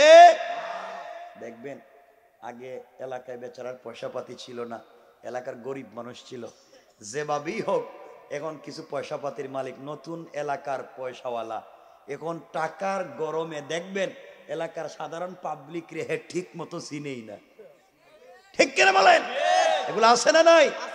এগুলো আছে না নাই? অহংকার করা যাবে না। এখন যদি আমরা আলোচনা শুরু করি, অহংকার করলে হবে কি? অহংকার ছেড়ে দিলে লাভ কি? আমরা যদি আলোচনা শুরু করি কম পক্ষে একবার ন্যূনতম আড়াই ঘণ্টা লাগে শুধু অহংকার ছেড়ে দিলে লাভ কি? অহংকার করলে ক্ষতি কি? এখানে লাগবে কমপক্ষে এই টপিক্সে আড়াই ঘণ্টা। এই জন্য আমরা রাখলাম। আপনারা ইন্টারনেটে পাবেন এই কথাগুলা। শুধু এতটুকুন মনে রাখবেন, অহংকার করা যাবে কারণ এখানে আল্লাহর একজন জলিলুল কদর পয়গম্বর পয়গম্বর আলা সুলাইমান আলা নবীনা আলাইহি সালাতু সালাম শুধু বলেছিলেন, তার বিয়ের যখন সময় হয়েছিল, তিনি বিয়ের জন্যে এলাকায় লোক পাঠাইয়া দিলেন, যাও, আমার জন্য মেয়ে দেখো। কি দেখো? কে? সুলাইমান, দাউদ আল ইসলামের ছেলে। সুলাইমান, পুরা দুনিয়ার বাদশা পুরা সৃষ্টির ভাষা তিনি বুঝেন। এই সুলাইমান ইসলাম বিয়ের জন্য লোক পাঠাই দিলেন, যাও আমার জন্য একটা মেয়ে দেখো, আমার মতো। হাজার হাজার মেয়েরা তার কাছে বিয়ের প্রস্তাব পাঠাইছে। এর মধ্যে জেলের মেয়ে, কি এর মেয়ে? জেলে চিনেননি, যে বিল্ডিং এর কাজ করে। মাছ ধরে। এক জেলের মেয়ে, গরিব, ঘর নাই, বাড়ি নাই। ঝুপড়ি করে থাকে। হেও সুলাইমানের কাছে বিয়ের প্রস্তাব লিখে পাঠাইয়া লাগতো সুলাইমান, আমি গরিব মানুষ, এটা আপনিও জানেন, আমিও জানি। আমি জেলের মেয়ে, কিন্তু আপনাকে খুব ভালোবাসি। আপনাকে আমি বিয়ে করতে চাই। আপনারা খুব খিদমত করব। সুলাইমানের কাছে গিয়ে প্রস্তাবটা যখন হাজির, সুলাইমান তো তেলে বেগুনে গরম। সুলাইমান বলছেন, জেলের মেয়ে জেলের মেয়ে যার গড় নাই, বাড়ি নাই, সোসাইটি নাই, শেষ পর্যন্ত ওই মেয়েটাও আমার কাছে বিয়ের প্রস্তাব দিল তার সাহস তো কম না। এতটুকুন বলছেন। খারাপ কিছু বলেন নাই। শুধু এতটুকুন বলছেন, তার সাহস তো কম না। জেলের মেয়ে আমার কাছে বিয়ের প্রস্তাব দিল। এই কথা বলছেন। আল্লাহ তাআলা পয়গম্বর সুলাইমান ইসলামকে রাজ সিংহাসন থেকে সিংহাসন চ্যুত করে হাতের তার সেই সব থেকে মর্যাদাপূর্ণ আংটি সাগরে ফেলে দিয়া সুলাইমানকে জেলের বাড়ির কর্মচারী কামলা বানাইয়া পাবলিক দিয়া পিঠাইয়া দীর্ঘদিন পর্যন্ত রাইখা, আবার জেলের মেরে বিয়া করাইয়া ওই মেরে নিয়া রাজ সিংহাসন পর্যন্ত পৌঁছাইয়া দিয়েছে। চিন্তা করছেন আপনারা? এই আলোচনা বিশাল এক লম্বা আলোচনা, কেমনে করলেন? সুতরাং পয়গম্বরের মতো পয়গম্বরকেও শুধু একটা কথা অহংকারও করেন নাই, শুধু বলতেন তার সাহস তো কম না এই জন্য আল্লাহ ঘুরাইছে ঘুরাইছে। আর তুমি কে? তুমি কোন বল্টু? হ্যাঁ? অহংকার করো। অহংকার করা যাবে? সবাই বলেন না একটু। আজ থেকে পঞ্চাশ বছর আগে আপনাদের এই বৃহত্তর দাউদ কান্দিতে খবর নেন। অনেকের বাড়িতে ছিল লাখ লাখ টাকা মানে লাখপতি আজ তার ছেলেমেয়েরা মানুষের বাড়িতে কাজ কাম করে খায়। নাই? আর আজ থেকে পঞ্চাশ বছর আগে এই এলাকার অনেকের ঘর ছিল ভাঙ্গা ঘর, ঝুপড়ি ঘর। বৃষ্টি দিলে টিন লাগাবার পয়সা ছিল না। আর আজকে তার ছেলে মেয়ের ঘরে আল্লাহ লাখ লাখ টাকা, কোটি কোটি টাকার মালিক বানাইছে। আছে না? কে করতে পারে? সবাই একসাথে বলেন, কে? অহংকার করা যাবে? মনে থাকবে তো? সংক্ষেপ করে করে যাই নিলে মূল আলোচনায় হারায় ফেলাই। আল্লাহর গোলামের দুই নম্বর গুণ আল্লাহ বললেন, ওয়াইদা খাতাবাহুমুল জাহিলুন ক্বালু সালামা আল্লাহ রাব্বুল ইজ্জত ওয়াল জালাল বলছেন, মুসলমানেরা, এই দুনিয়ার জমিনে যারা আমি আল্লাহর গোলাম দাবি করবে আশিক রাসূল দাবি করবে, আল্লাহর গোলাম নিজেকে মনে করবে বান্দারে। আল্লাহর গোলামের দুই নম্বর গুণ হলো, আমার গোলামকে কেউ গালি দিলে গালির জবাব দিবে না, আঘাত করলে আঘাতের জবাব দিবে না, গীবত, শেকায়ত, সমালোচনা করলে জবাব দিবে না, বরং আমি আল্লাহর গোলামকে কেউ যদি গালি দেয় আমার গোলাম গালির জবাবে গালি না দেয়া, ওই ব্যক্তির জন্যে শান্তি আর সালামতির দোয়া করে যায়, পড়েন সুবহানাল্লাহ। তাহলে আল্লাহর গোলামের দুই নম্বর গুণ, গালি দেওয়া। সবাই বলেন না কেন? গালি দেওয়া যাবে? কেউ যদি গালি দেয়, আমরা কি করব? শান্তির দোয়া করব। খাতবাহুমুল জাহিলুন, কালু সালামা। তার জন্য শান্তির দোয়া করব, তাকে সালাম দিব। বলেছেন কে? আরও জোরে বলেন কে? সালাম দিবেন তো? কয়েকজন মাত্র কইছে। সালাম দিবেন? অহংকার শুধু আপনাদের ভিতরে যে তা না, অহংকার যে আমাদের ভিতরে আরও বড় হয়ে গেছে গা। আমরা আরও বড় অহংকারী হয়ে আমরা যে ভাব ধরি আজকাল, করি আল্লাহর ভাব, কে আমাদের থাপ বাড়াইয়া ফেরেস্তারা ঠিক করে দিব? দেখবেন আমরা এমন খারাপ হয়েছি দেখবেন এলাকার যিনি বড় হুজুর, মাঝে মাঝে, এলাকার বড় হুজুর, সব না, মাঝে মাঝে দেখবেন এলাকার বড় হুজুর, তিনি রাস্তা দিয়ে হাঁটলে সাধারণ পাবলিক আর সালাম দেন না। আছে না নাই? আমি সালাম দিব কেরে আমি তো বড় হুজুর। আমারও সবাই সালাম দেও। এখন বড় হুজুরের সালাম দিলে ঠিক মতো জবাবও দেয় না। হ্যাঁ, ঠিক আছে ঠিক আছে। সালাম দিলে কই ঠিক আছে। কথা কন না কেন? এদিকে বড় হুজুর যাইতেছে। আপনি চিন্তা করলেন ওয়াজে শুনছি। বড় বড় হুজুরদের সঙ্গে মুসাফা করলে সাগিরা গুনা মাফ হয়। এদিকে বড় হুজুর যাইতেছে একটু মুসাফা বড় হুজুর একটু মুসাফা না না ঠান্ডা লাগতেছে। ঠান্ডা লাগতেছে, হাত দিতেছে না। কিন্তু মুসাফার সময় যদি বড় হুজুরের হাতে, এই যে, একটু হাদিয়া, কি? কথা কয় বড় হুজুরের হাতে মুসাফার সময় যে হুজুর এটা মুসাফা করতেছে, একটু ছুড়ু হাদিয়া, এই যে থ্যাংক ইউ ভেরি গুড আবার আইসো আরও দিও, কেমন? ঠিক কিনা বলেন? কি অহংকার ঢুকলো আমাদের ভিতরে। আর অলিয়া অলিয়ার মতো বসে রয়েছে এখানে। আমার কথা বোধহয় খারাপ লাগতেছে, আমি জানি আপনাদের। আমার বন্ধুগান এই জন্য আল্লাহর গোলামের দুই নাম্বার গুণ, গালি দিব না, বিনিময়ে সালাম দিব, ইনশা সবাই বলেন, ইনশা আপনারা সালাম দেন তো। দেন তো। একটু পরীক্ষা করে দেখি, একটু, এক মিনিটে। কেমন? কষ্ট হবে না তো? হ্যাঁ এক মিনিট। এতক্ষণ হাদিসের কথা, কোরআনের কথা বলছে খাতবা হুমুল জাহিলুন। এখন হাদিসে যাচ্ছি। রাওই আমাদের কলিজার টুকরা মা। আম্মাজান আয়েশা সিদ্দিকা রাদিয়াল্লাহু তাআলা আনহা। আম্মাজান আয়েশা বলেন, আমি যখন দেখতাম কলিজার টুকরা স্বামী রসুলে পাক সাল্লাহ ইসলাম গড়ে আসতেছেন আম্মাজান আয়েশা বলেন, আমি গড়ের দরজার চিপায় দাঁড়িয়ে থাকতাম। সুবহানাল্লাহ বলেন। আম্মাজান আয়েশা বলেন, রসুল গড়ে আসতেছেন দেখলেই আমি গড়ের দরজার চিপায় দাঁড়িয়ে থাকতাম। পর্দার আড়ালে দাঁড়িয়ে থাকতাম। রসুলে পাক আমাকে দেখতে না পান। তিনি ঘরের দরজা এসে আমাকে আয়সা বলে ডাক দিবেন। আর আমি দরজা খুলে দিয়া ঝাপটি মেরে তাকে জড়িয়ে ধরে, তার কপালে চুম্বন দিয়া আমি সর্বপ্রথম তাকে সালাম দিব। বলবেন না। কিন্তু আম্মা যেন আয়সা বলেন আল্লাহে আল্লাহর জাত সিফাতের কাসাম, আমি আমার জিন্দগিতে রসুলে পাককে আগে সালাম দিতে পারি নাই বরং নবীজি গড়ে আসার, অনেক দূরে থাকতে আমাকে আওয়াজ করে সালাম দিতে। বলেন না। সবাই বলেন না।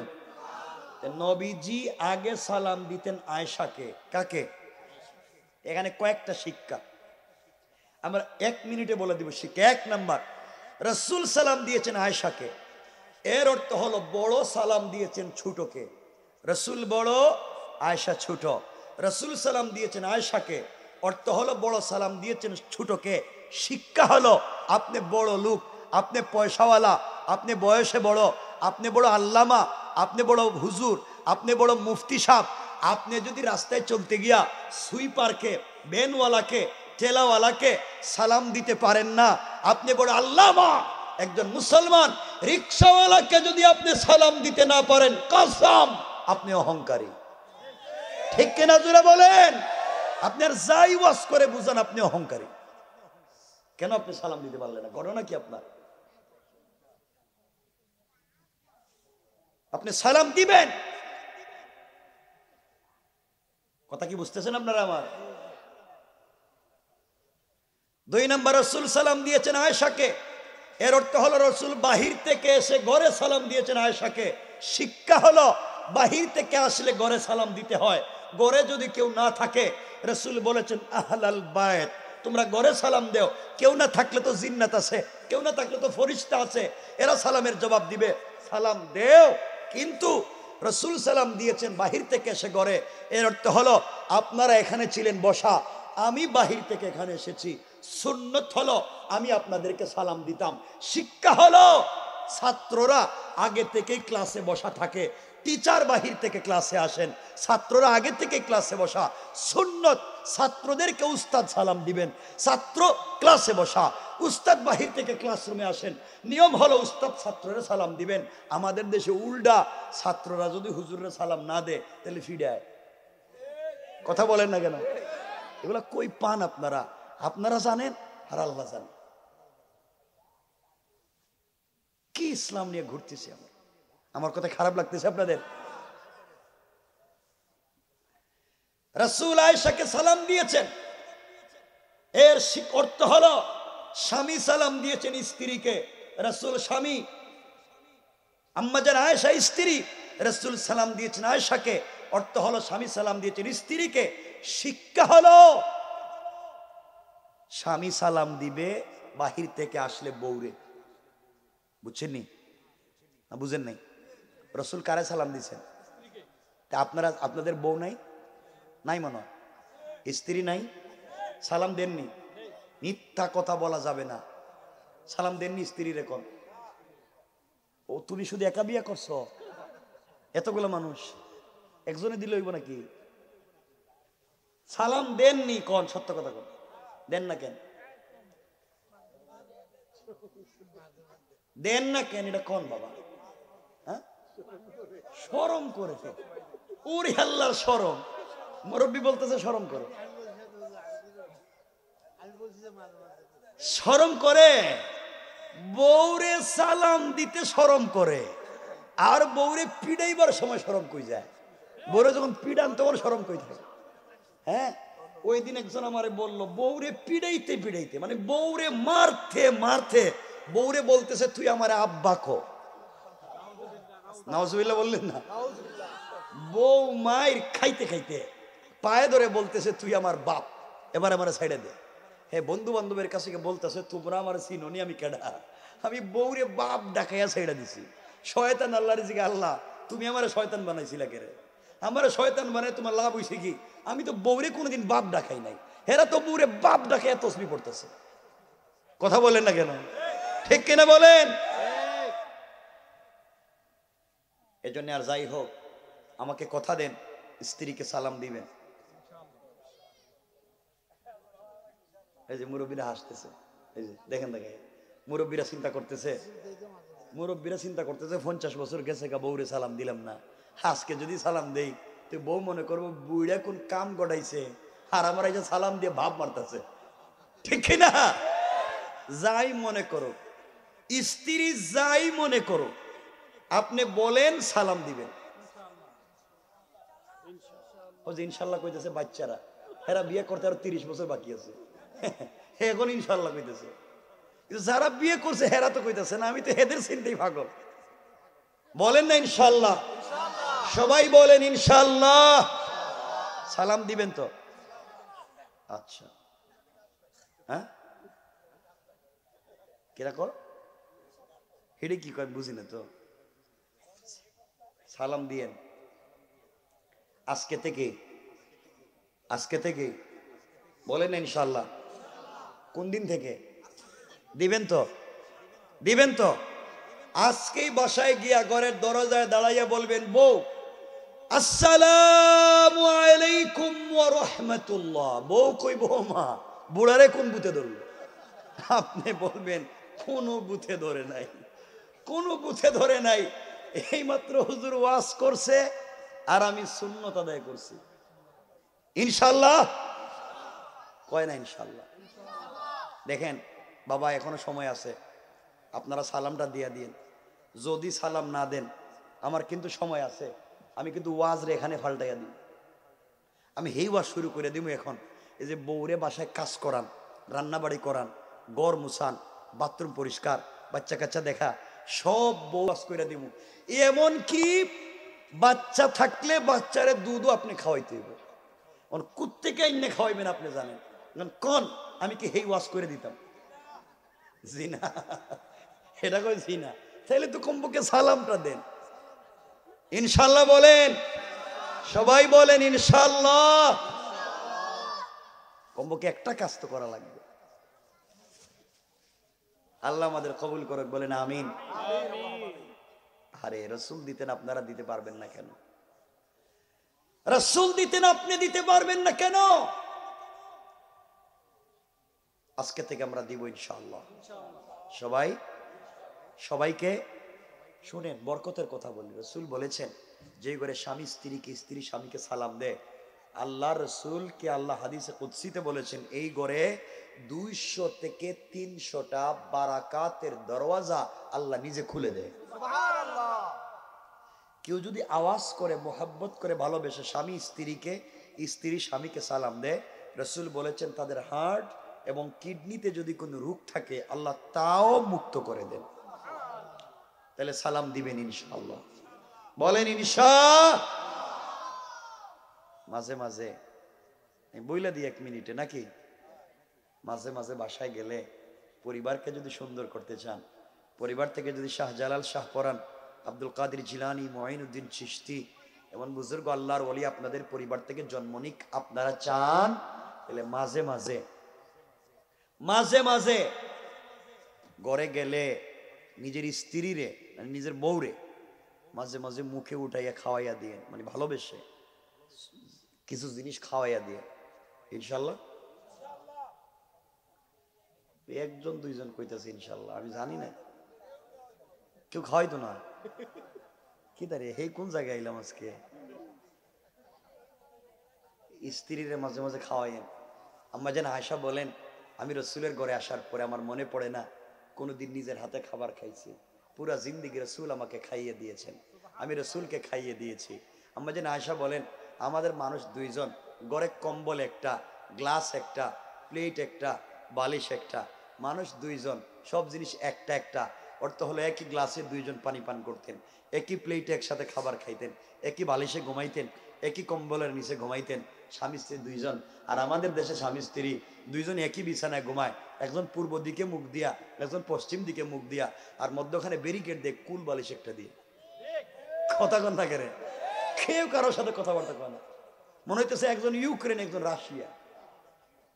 কি একটা অবস্থা আমাদের দেশে। আমার মুসলমান বন্ধুগণ, এই জন্য আল্লাহর ওয়াস্তে আমরা এগুলো করব না। বলেন না ইনশাল্লাহ স্বামী স্ত্রীর সম্পর্ক ঠিক করব তো ইনশাল্লাহ মাঝে মাঝে খাওয়াবেন তো। হেরা কইতেছে, রে বাবা, ওয়াস্ত করতেছো, ঠিক আছে। বউরে খাওয়াইতে গেলে বউ কইব, বিষ খাওয়াই মাইরে ফেলাইতেছে বোধ হয় আরেকটা বিয়ে করার জন্য আমার মাইরে ফেলাইতেছে। যাই মনে করুক, আপনি খাওয়াইবেন। হ্যাঁ? হেরা চিন্তা করতেছে, আমি নতুন ওয়াজ করতেছি খাওয়াবেন! ইনশাল্লাহ বলেন। বলেন ইনশাল্লাহ।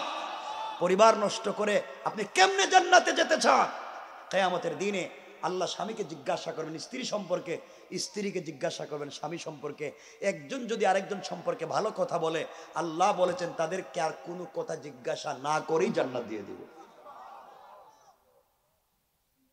এই জন্য আমাকে কথা দেন, আমরা একে অপরকে খাওয়াবো, ইনশা। বলেন ইনশা। খাওয়াবেন নাই তো কি হয়েছে নাই তো কি হয়েছে মা বাপরে খাওয়াইবো আর যারে পায় তারে খাওয়াইবো বউরে বিয়া করলে খাওয়াইবো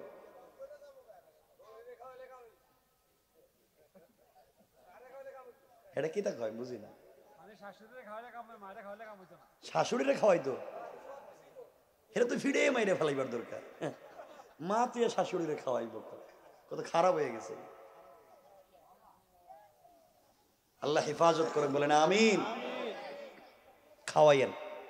আল্লাহর গোলাম সংক্ষেপ করে করে দিয়ে আল্লাহর গোলামের দুই নম্বর গুণ, গালি দেওয়া যাবে? যাবে? পরিবার যদি সুন্দর হয়, পরিবার যদি চমৎকার হয়, পরিবার যদি ভালো হয়, এই পরিবার থেকে ভালো ভালো মানুষ জন্ম নিবে। আমাদের রসুল এবং খাদিজা, তাদের পরিবার বন্ডিং কত চমৎকার ছিল। তাদের ঘর থেকে জন্ম নিয়েছেন হজরতে ফাতেমা। হজরতে ফাতেমা এবং আলীর বন্ডিংটা কত চমৎকার ছিল। তাদের ঘর থেকে জন্ম নিয়েছেন হজরত হাসান হজরত হুসাইন। আল্লাহ একবার বলেন না? আর আমাদের ঘর থেকে জন্ম নেই বল্টু মিয়া। বল্টু দুনিয়া জন্ম নিয়ে হ্যাঁ কিছু খায় না। এরে খাওয়াইতে গেলে কিছু মুটু পাটলু দেখাইতে হয়। কথা কন না করে? হ্যাঁ খাইতেই চায় না কিছু ওইটা না দেখলে।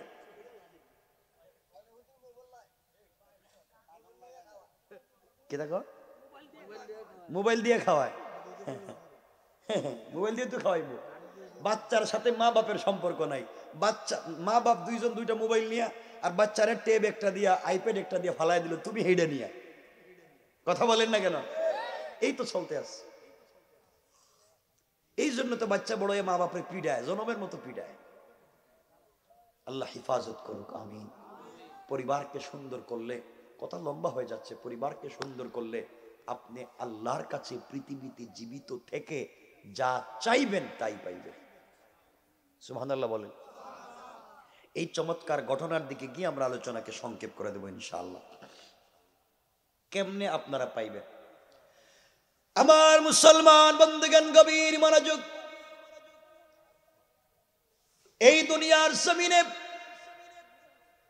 রসুলে পাকের কলিজার টুকরা মে হজরতে ফাতেমা রাদিয়াল্লাহু তাআলা আনহা তখন পর্যন্ত বিয়ে শাদী করেন নাই, বড় হন নাই। চলার পথে সামাজিক ভাবে ইহুদির মেয়ের সঙ্গে তার বন্ধুত্বের সম্পর্ক হয়ে গেল। চলার পথে ইহুদির মেয়ের সঙ্গে তার সম্পর্ক হয়ে গেল। ওই মেয়েটা প্রতিদিন ফাতেমার কাছে আসে। বিকেল বেলা চলে যায়, এইভাবেই চলতে লাগল তাদের দিন। একদিন, দুই দিন না, কেউ বলছেন সম্পর্ক ছয় বছরের, কেউ বলছেন সম্পর্ক দশ বছরের, কেউ বলছেন সম্পর্ক বারো বছরের, মনোযোগ দিয়ে শোনেন। এইভাবে দীর্ঘদিন চলতে লাগল। ওই হদির মেয়েটা ফাতেমার কাছে আসে। তার আদর্শ চোখ দিয়া দেখে। কিন্তু মেয়েটা তখন পর্যন্ত মুসলমান হয় নাই। ওই মেয়েটা একদিন বাবার কাছে গিয়েছে, ইহুদির কাছে গিয়েছে। দিল দিয়া শুনেন কি বুঝাতে চাই? ইহুদি ডাক দিয়া বলেছে, মেরে, ও আমার কলিজার টুকরা মেয়ে, এই পৃথিবীতে তুমি ছাড়া আমার আর কোনো সন্তান নাই মা। মা রে, তোমার কাছে আমি বাবা একটা আবদার করতে চাই। পৃথিবীতে কোটি কোটি টাকার সম্পদ আছে দিনার আর দিরহাম আছে। তোমার বয়স হয়ে যাচ্ছে, আমি তোমাকে বিয়ে দিতে চাই, তুমি কি রাজি? ইয়াহুদির মেয়ে ডাক দিয়া বলছে, আব্বা যান আপনি আমাকে বিয়ে দিতে চান বাবা। তুমি দিতে চাও, আমি কেন রাজি হব না? এমন সময়ে ইয়াহুদি বলতেছে, মারে, আমি আমাদের এলাকার সব থেকে বড় শিল্পপতি সব থেকে বড় টাকাওয়ালার ছেলেকে তোমার জন্য পাত্র নির্বাচন করেছি। দেখতেও যেমন হ্যান্ডসাম পয়সার অভাব নাই। এই ছেলের কাছে তোমাকে বিয়ে দিতে চাই, তুমি কি বিয়েতে রাজি? ইয়াহুদির মেয়েটা কোনো কথা না বলে ডাক দিয়া বলছে, আব্বা যান, আপনি আমার জন্য ছেলে ঠিক করেছেন, বাবা। আমি বিয়েতে রাজি কিনা আপনি জানতে চাইলেন? ও বাবা, আপনি আমাকে আগামী কালকে দুপুর পর্যন্ত সময় দেন। সন্ধ্যার আগে আপনার কাছে ফাইনাল সিদ্ধান্ত জানাইয়া দিতে চাই। এই কথা বলে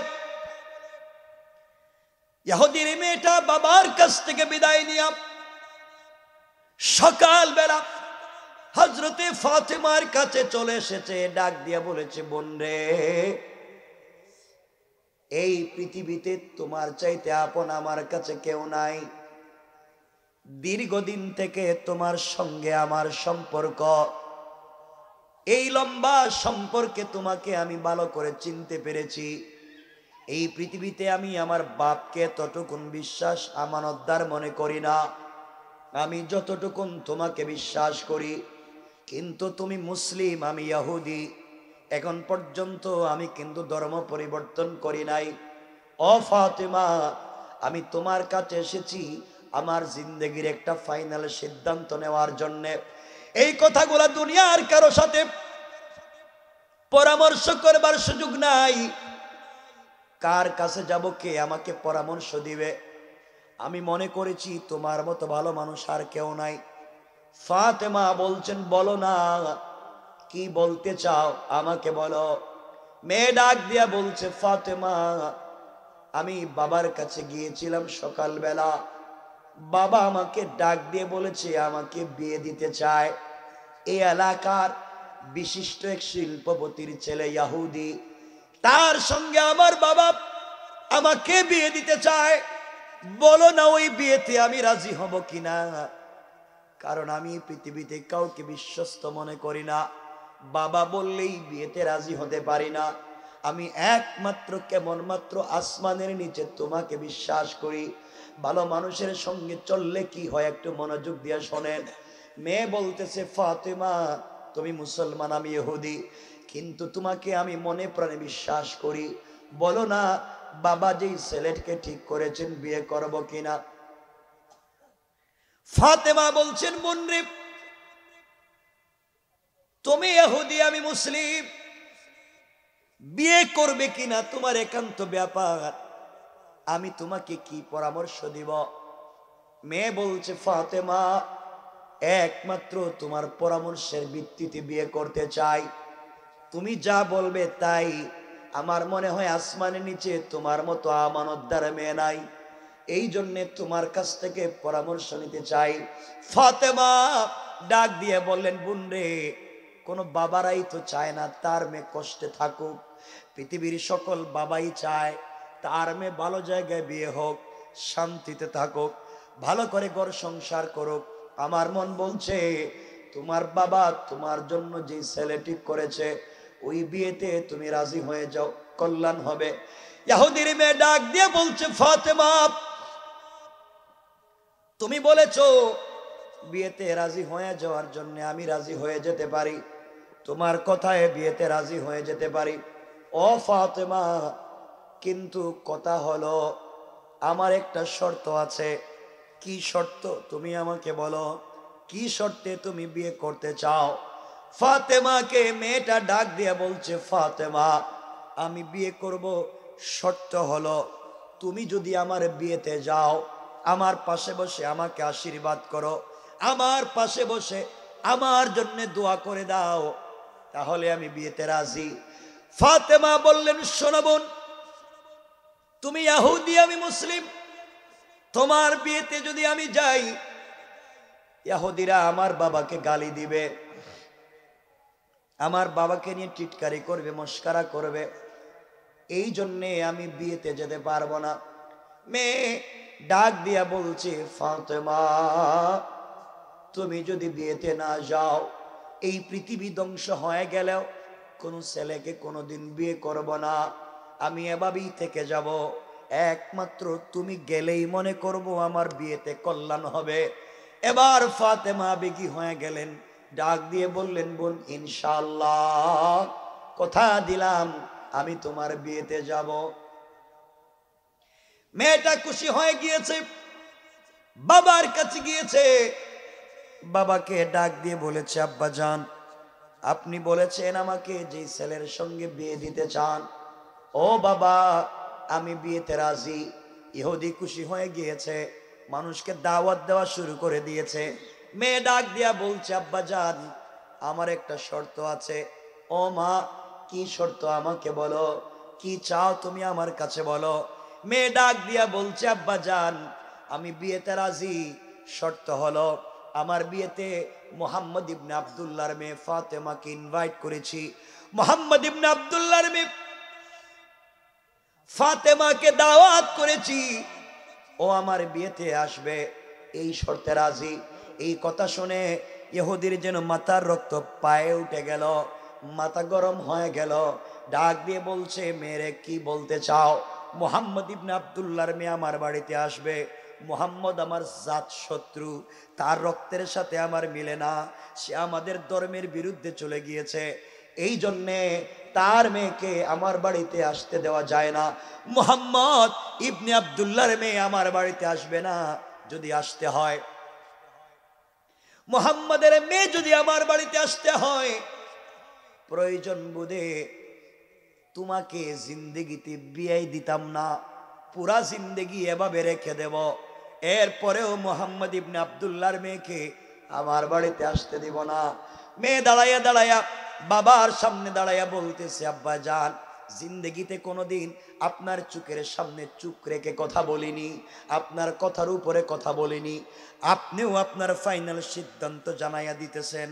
ফাতেমা আসলে আপনি আমাকে বিয়ে দিবেন না, আমিও আমার ফাইনাল সিদ্ধান্ত জানাইয়া দিতে চাই।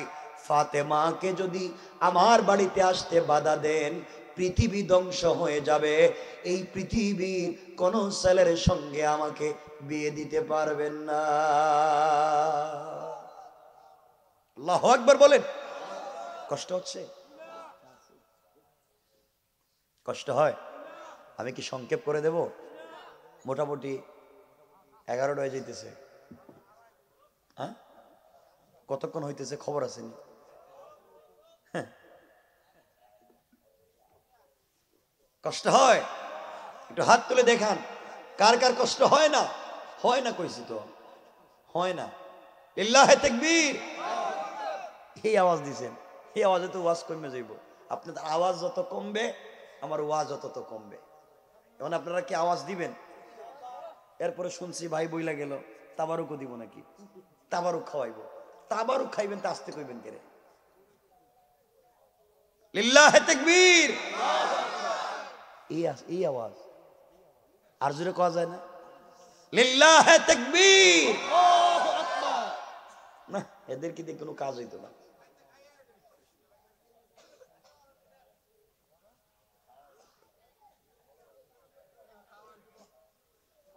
আমার বন্ধুগান কথাগুলো দিল দিয়ে শোনেন। ইয়াহুদি চিন্তা করল, কষ্ট হচ্ছে আপনাদের? ইয়াহুদি চিন্তা করল, আমার একটা মাত্র মেয়ে, কোটি কোটি টাকার মালিক আমি, আর মেয়েরে যদি বিয়ে দিতে না পারি, এর চাইতে লজ্জার কিছু নাই। এখন কৌশল করে যেভাবেই হোক বিয়ে দিতে হবে। শয়তান তো কৌশল শুরু করছে। যেভাবেই হোক, বিয়েটা তো দেওয়াই লাগবে। মুসলমানদেরকে দেখতে পারে না। আজকাল কেউ এই শয়তানেরা জালেমেরা মুসলমানদের জাতীয় দুশ্মন হয়ে বসে রয়েছে। ঠিক কিনা বলেন? পুরা দুনিয়ায় মুসলমানদের কলিজা থেকে রক্ত ঝরায়। আর এই সমস্ত বেঈমানদেরকে, জালেমদেরকে যারা সাপোর্ট দেয়, তারা হচ্ছে পিতৃ পরিচয়হীন অবৈধ সন্তান। ঠিক কিনা বলে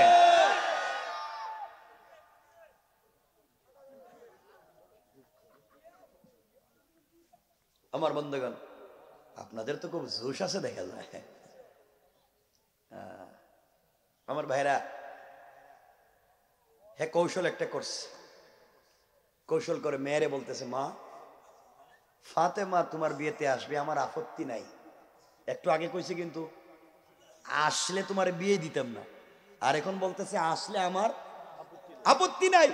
তোমার বান্ধবী তোমার বিয়েতে আসবে আসো কিন্তু আমার একটা শর্ত আছে।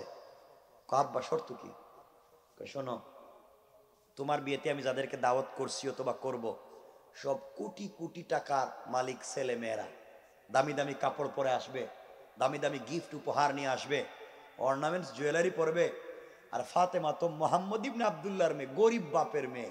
বাপেরও ঠিক মতো কাপড় থাকে না, বাপের থাকবার জায়গা নাই, তিন বেলা খাওয়ার মতো ব্যবস্থা নাই। তার মেয়ে যদি আমার বাড়িতে আসতে হয় সোসাইটি মেনটেন করে আসতে হবে, সামাজিকতা রক্ষা করে আসতে হবে। অর্থ হলো, তার মেয়ে যদি আসতে হয়, এই সেরা পুরাতন কাপড় নিয়ে আসতে পারবে না। নতুন পোশাক পরে আসতে হবে। এই শর্তে রাজি।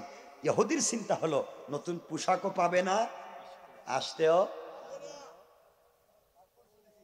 কৌশল চিন্তা করছেননি আল্লাহ আসেননি আসতে কোন? আছে। আল্লাহ চিন্তা করেন, শয়তানের শয়তান। তুই ফাতেমাকে আসতে দিবে না, এটা তোর কৌশল।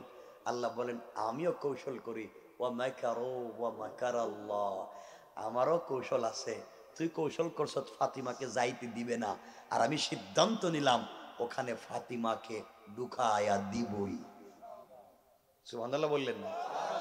জোরে বলেন না সুবহানাল্লাহ। আল্লাহ চাইলে পারবেন। পারবেন কি পারবেন না? মেয়েটা ফাতেমার কাছে এসে বলছে, বোন, তুমি আমার বিয়েতে যাও। আমার বাপ চায় না। তোমার বাপের নাম ধরে গালিগালাজ করে। দেখতে পারে না, বহুত কিছুর পরে রাজি হয়েছে একটা শর্তে, শর্ত দিছে, তুমি আমার বিয়েতে গেলে একটা নতুন পোশাক পরে যেতে হবে। এই পুরাতন কাপড় পরে যাওয়া যাবে না। এখন তুমি বলো না কেমনে যাইবা? ফাতেমা বলছেন, বোন, দেখ, আমি গরিব বাপের মেয়ে। মাসের পর মাসছে আমাদের ঘরে চুলে আগুন জ্বলে না। আমার বাপেরই তো নতুন পোশাক নাই। আমরা এগুলোর উপরে ধৈর্য ধরে সবর করি, আমরা একজন আল্লাহকে ভালোবাসি, তাকে পাইলেই চলে, কিচ্ছু লাগবে না। আর নতুন পোশাকও পাবো না, তোমার বিয়েতেও যেতে পারব না। মেয়েটা বলছে, বোন, তুমি যদি আমার বিয়েতে না যাও, তাহলে তো আমি বিয়েই করতাম না। একটা কাপড়ের ব্যবস্থা করো না। ফাতেমা বলছেন, আমি এত দামি কাপড় কোথায় পাবো? কিতাবের নাম মনে রাখবেন, তারিখে ইবনে জারির তাওয়ারিতে লিখে হজরতে ফাতেমাকে মেয়েটা বলছে বোন, তুমি না বললা তোমার সাথে কার নাকি সম্পর্ক আছে এই পৃথিবীতে প্রেম? সে নাকি অনেক কিছুর মালিক। সে কি তোমাকে একটা কাপড় দিতে পারবে না? এই কথা বলতেই হজরতে ফাতেমার মনে পড়ে গিয়েছে আল্লাহর কথা। সুহান বললেন না। একটু জোরে বলেন না সোহান আমার মুসলমান বন্দিগান গভীর মনোযোগ। ফাতেমাকে মেয়ে ডাক দিয়ে বলছে, ফাতেমা তুমি আমাকে বলেছ, এই পৃথিবীতে তুমি তোমার আল্লাহকে বড় ভালোবাসো। তুমি তোমার সৃষ্টিকর্তাকে বড় ভালোবাসো। তাকে পাওয়ার জন্যে সারাদিন না খেয়ে রোজা রাখো। সারা রাত না ঘুমিয়ে তার কদমে সেজদা দিয়া কাটাইয়া দাও। আ ফাতেমা, তুমি বলেছ, একমাত্র কেয়ামতের দিন তুমি তাকে পেতে চাও। তুমি তাকে মন ভরে দেখতে চাও। তুমি বলেছ, তোমার আল্লাহ তোমার বাবাকে অহুত পাহাড় পরিমাণ সম্পদার স্বর্ণ দিতে চাইছে। তোমার বাবা কিন্তু নেয় নাই। তুমি আমাকে বলেছ, আসমান জমিন সব বানাইছেন আল্লাহ। তুমি আমাকে বলেছ, এই সব কিছুর মালিক আল্লাহ, তার ক্ষমতা অনেক বেশি। যা আছে সব তার। তা যদি সত্য হয়, ফাতেমা যে আল্লাহকে পাওয়ার জন্য জীবন, যৌবন বিসর্জন করলা। যার জন্য সারাদিন রোজা রাখো। যাকে পাওয়ার জন্য সারা রাত সেজদায় কাটাইয়া দাও। সে আল্লাহ কি পারে না?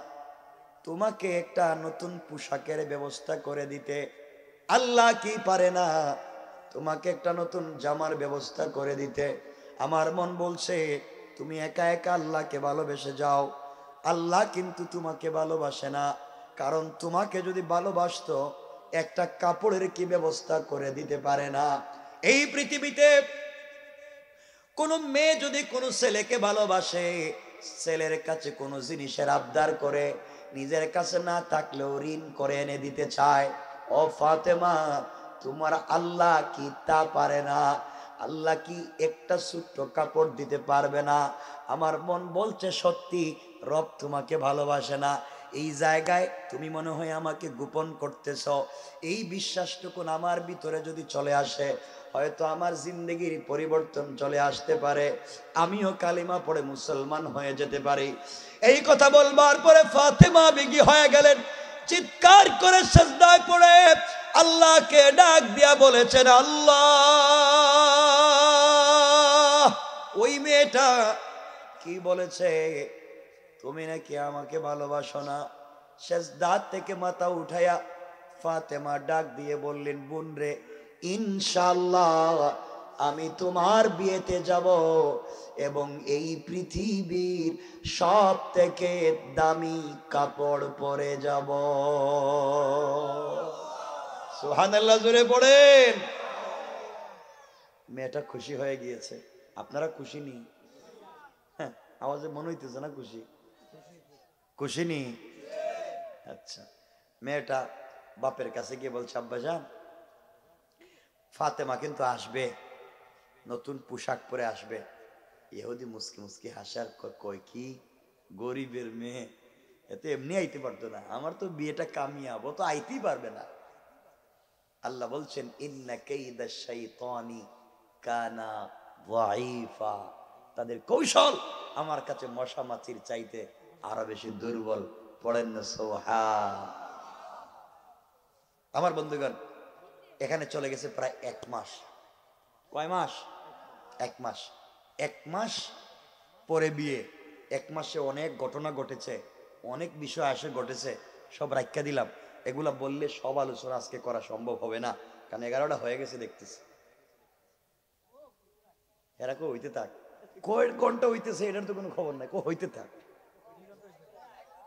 মাত্র দুই ঘণ্টা হয়েছে হ্যাঁ মাত্র দুই ঘণ্টা হয়েছে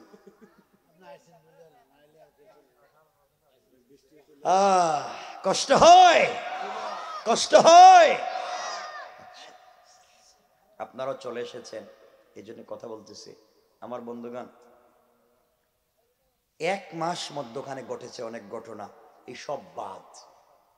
সব বাদ, ডাইরেক্ট বিয়া। মানে এটা না গেলে আমরা আবার শেষ করতে পারব না। ডাইরেক্ট? কি খুশি মুরব্বীর মনে হয় এদেরকে বিয়া খাওয়াইয়া যায়নি বিয়া যদি না খাওয়াই দিলে কি হইব? পারবেন নি আপনারা বিয়ে করাইতে? সব জিনিসটা আমার কাছে। আমি যদি আটকে দিই তাহলে কি হইব? কোন লাগবো। টাবারও কিন্তু ঠান্ডা হয়ে যেতেছে দরকার নাই। কয় কি? কথা শোনেন। আগামীকাল কি বিয়া? কোন দিন বিয়া? সবাই বলেন না। সবাই বলা লাগবে। সংক্ষেপ আগামীকালকে বিয়া? মেয়েটা খুব মনোযোগ দেন। এখানে শিক্ষাটা কি? এটা বোঝাতে চায়। মেয়েটা ফাতেমার কাছে এসে বলছে, বোন আগামীকালকে তো আমার বিয়া। কাপড়টা আনছনি দেখি। ফাতেমা বলছেন আমি তো ভুলেই গেছি কালকে যে তোমার বিয়া। কাপড়ের তো কোনো ব্যবস্থা হয় নাই। মেয়েটা কাঁদতেছে আর বলতেছে, ফাতেমা তাইলে কি আমার আর বিয়ে হবেই না? তুমি ছাড়া তো আমি বিয়ে করবই না। আর তুমি যদি এখানে না যাও, বাপের কাছে বড় মুখ করে বলছি, আমার তো মান সম্মান থাকবে না। তাহলে আমার মনে হয় মরে যাওয়াই ভালো। ফাতেমা মেয়েটার হাত ধরে বলছেন, বোন, আমি এমন একজনকে ভালোবাসি। আমি এমন একজনকে পছন্দ করে রাখছি। আমি এমন একজনকে জীবন, মরণ, উৎসর্গ করে ভালোবাসি। আমার আল্লাহ, এখনও একটা রাত বাকি আছে। আমার রব চাইলে এক রাতে ধনীকে গরিব গরিবকে ধনী, রাজাকে প্রজা, প্রজাকে রাজা, আসমানকে জমিন, জমিনকে আসমান, সাগরকে নগর, নগরকে সাগর বানাতে পারে। এখনও বিশ্বাস, একটা রাত বাকি আছে। আল্লাহ আমার কাপড়ের ব্যবস্থা করে দিবেন ইনশাআল্লাহ। আল্লাহ একবার বলেন। আমি এই বিশ্বাসের কথাই চিন্তা করতেছি। এমন একটা বিশ্বাসে যদি আমরাও পৌঁছে যাই, আমাদের বিশ্বাস যদি থাকে, হাসবি আল্লাহ আল্লাহই আমার জন্য যথেষ্ট। এই পৃথিবীর কোনো পরাশক্তি আমাদের কিছু করতে পারবে না। হাজারো এটেম বোমও যদি আমাদের সামনে মারে, কিচ্ছু হবে না ইনশাআল্লাহ, ঠিক কিনা বলে? শুধু একটা একটা নির্বেজাল বিশ্বাসের দরকার। সাহাবাই কারাম, এই নির্বেজাল বিশ্বাস নিয়েই লাখ লাখ কাফেরদের সামনে দাঁড়িয়ে গিয়েছিলেন, খালি হাতে তরবারি ছাড়া। যুদ্ধের ময়দানে গিয়ে শুধু তাকবীর দিয়েছেন, তাকবীরের আওয়াজে কাফেরেরা পলায়ন করেছে। যুদ্ধের ময়দানে মেসওয়াক করেছেন, কাফেরেরা পলায়ন করেছে। কিচ্ছুর বলে নয়, বিশ্বাস ছিল। কার উপরে? আরও জুড়ে বলেন, কার? এই বিশ্বাসটুকুন দরকার। আমাদের বিশ্বাসের তো কোনো খবরই নেই। আমার মুসলমান বন্ধুগণ, কথাগুলা দিল দিয়া শুনেন কি বলতে চাই? এক পর্যায়ে হজরতে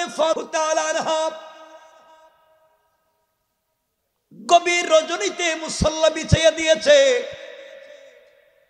সেজদায় পড়ে আল্লাহকে ডাক দিয়া বলেছে, আল্লাহ, এই পৃথিবীতে তুমি ছাড়া আর কে আছে আমার? কেউ নাই, একমাত্র তুমি আছো আল্লাহ। বলো না, এই মুহূর্তে আমি কি করতে পারি? আল্লাহ, আমি ফাতেমা তোমাকে ভালোবেসে ফেলেছি। সারাদিন রোজা রাখি, না খায়া থাকি, অপেক্ষা করি কখন রাত্র গভীর হবে। তোমার কদমে দায় পড়ে তোমাকে ডাকবো। তুমি না আমার সবগুলা কথার জবাব দাও।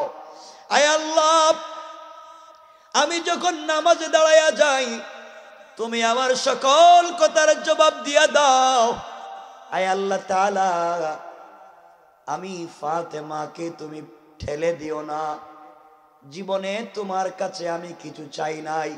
এই পৃথিবীতে, জিন্দগিতে তোমার কাছে কিছু চাইলাম না।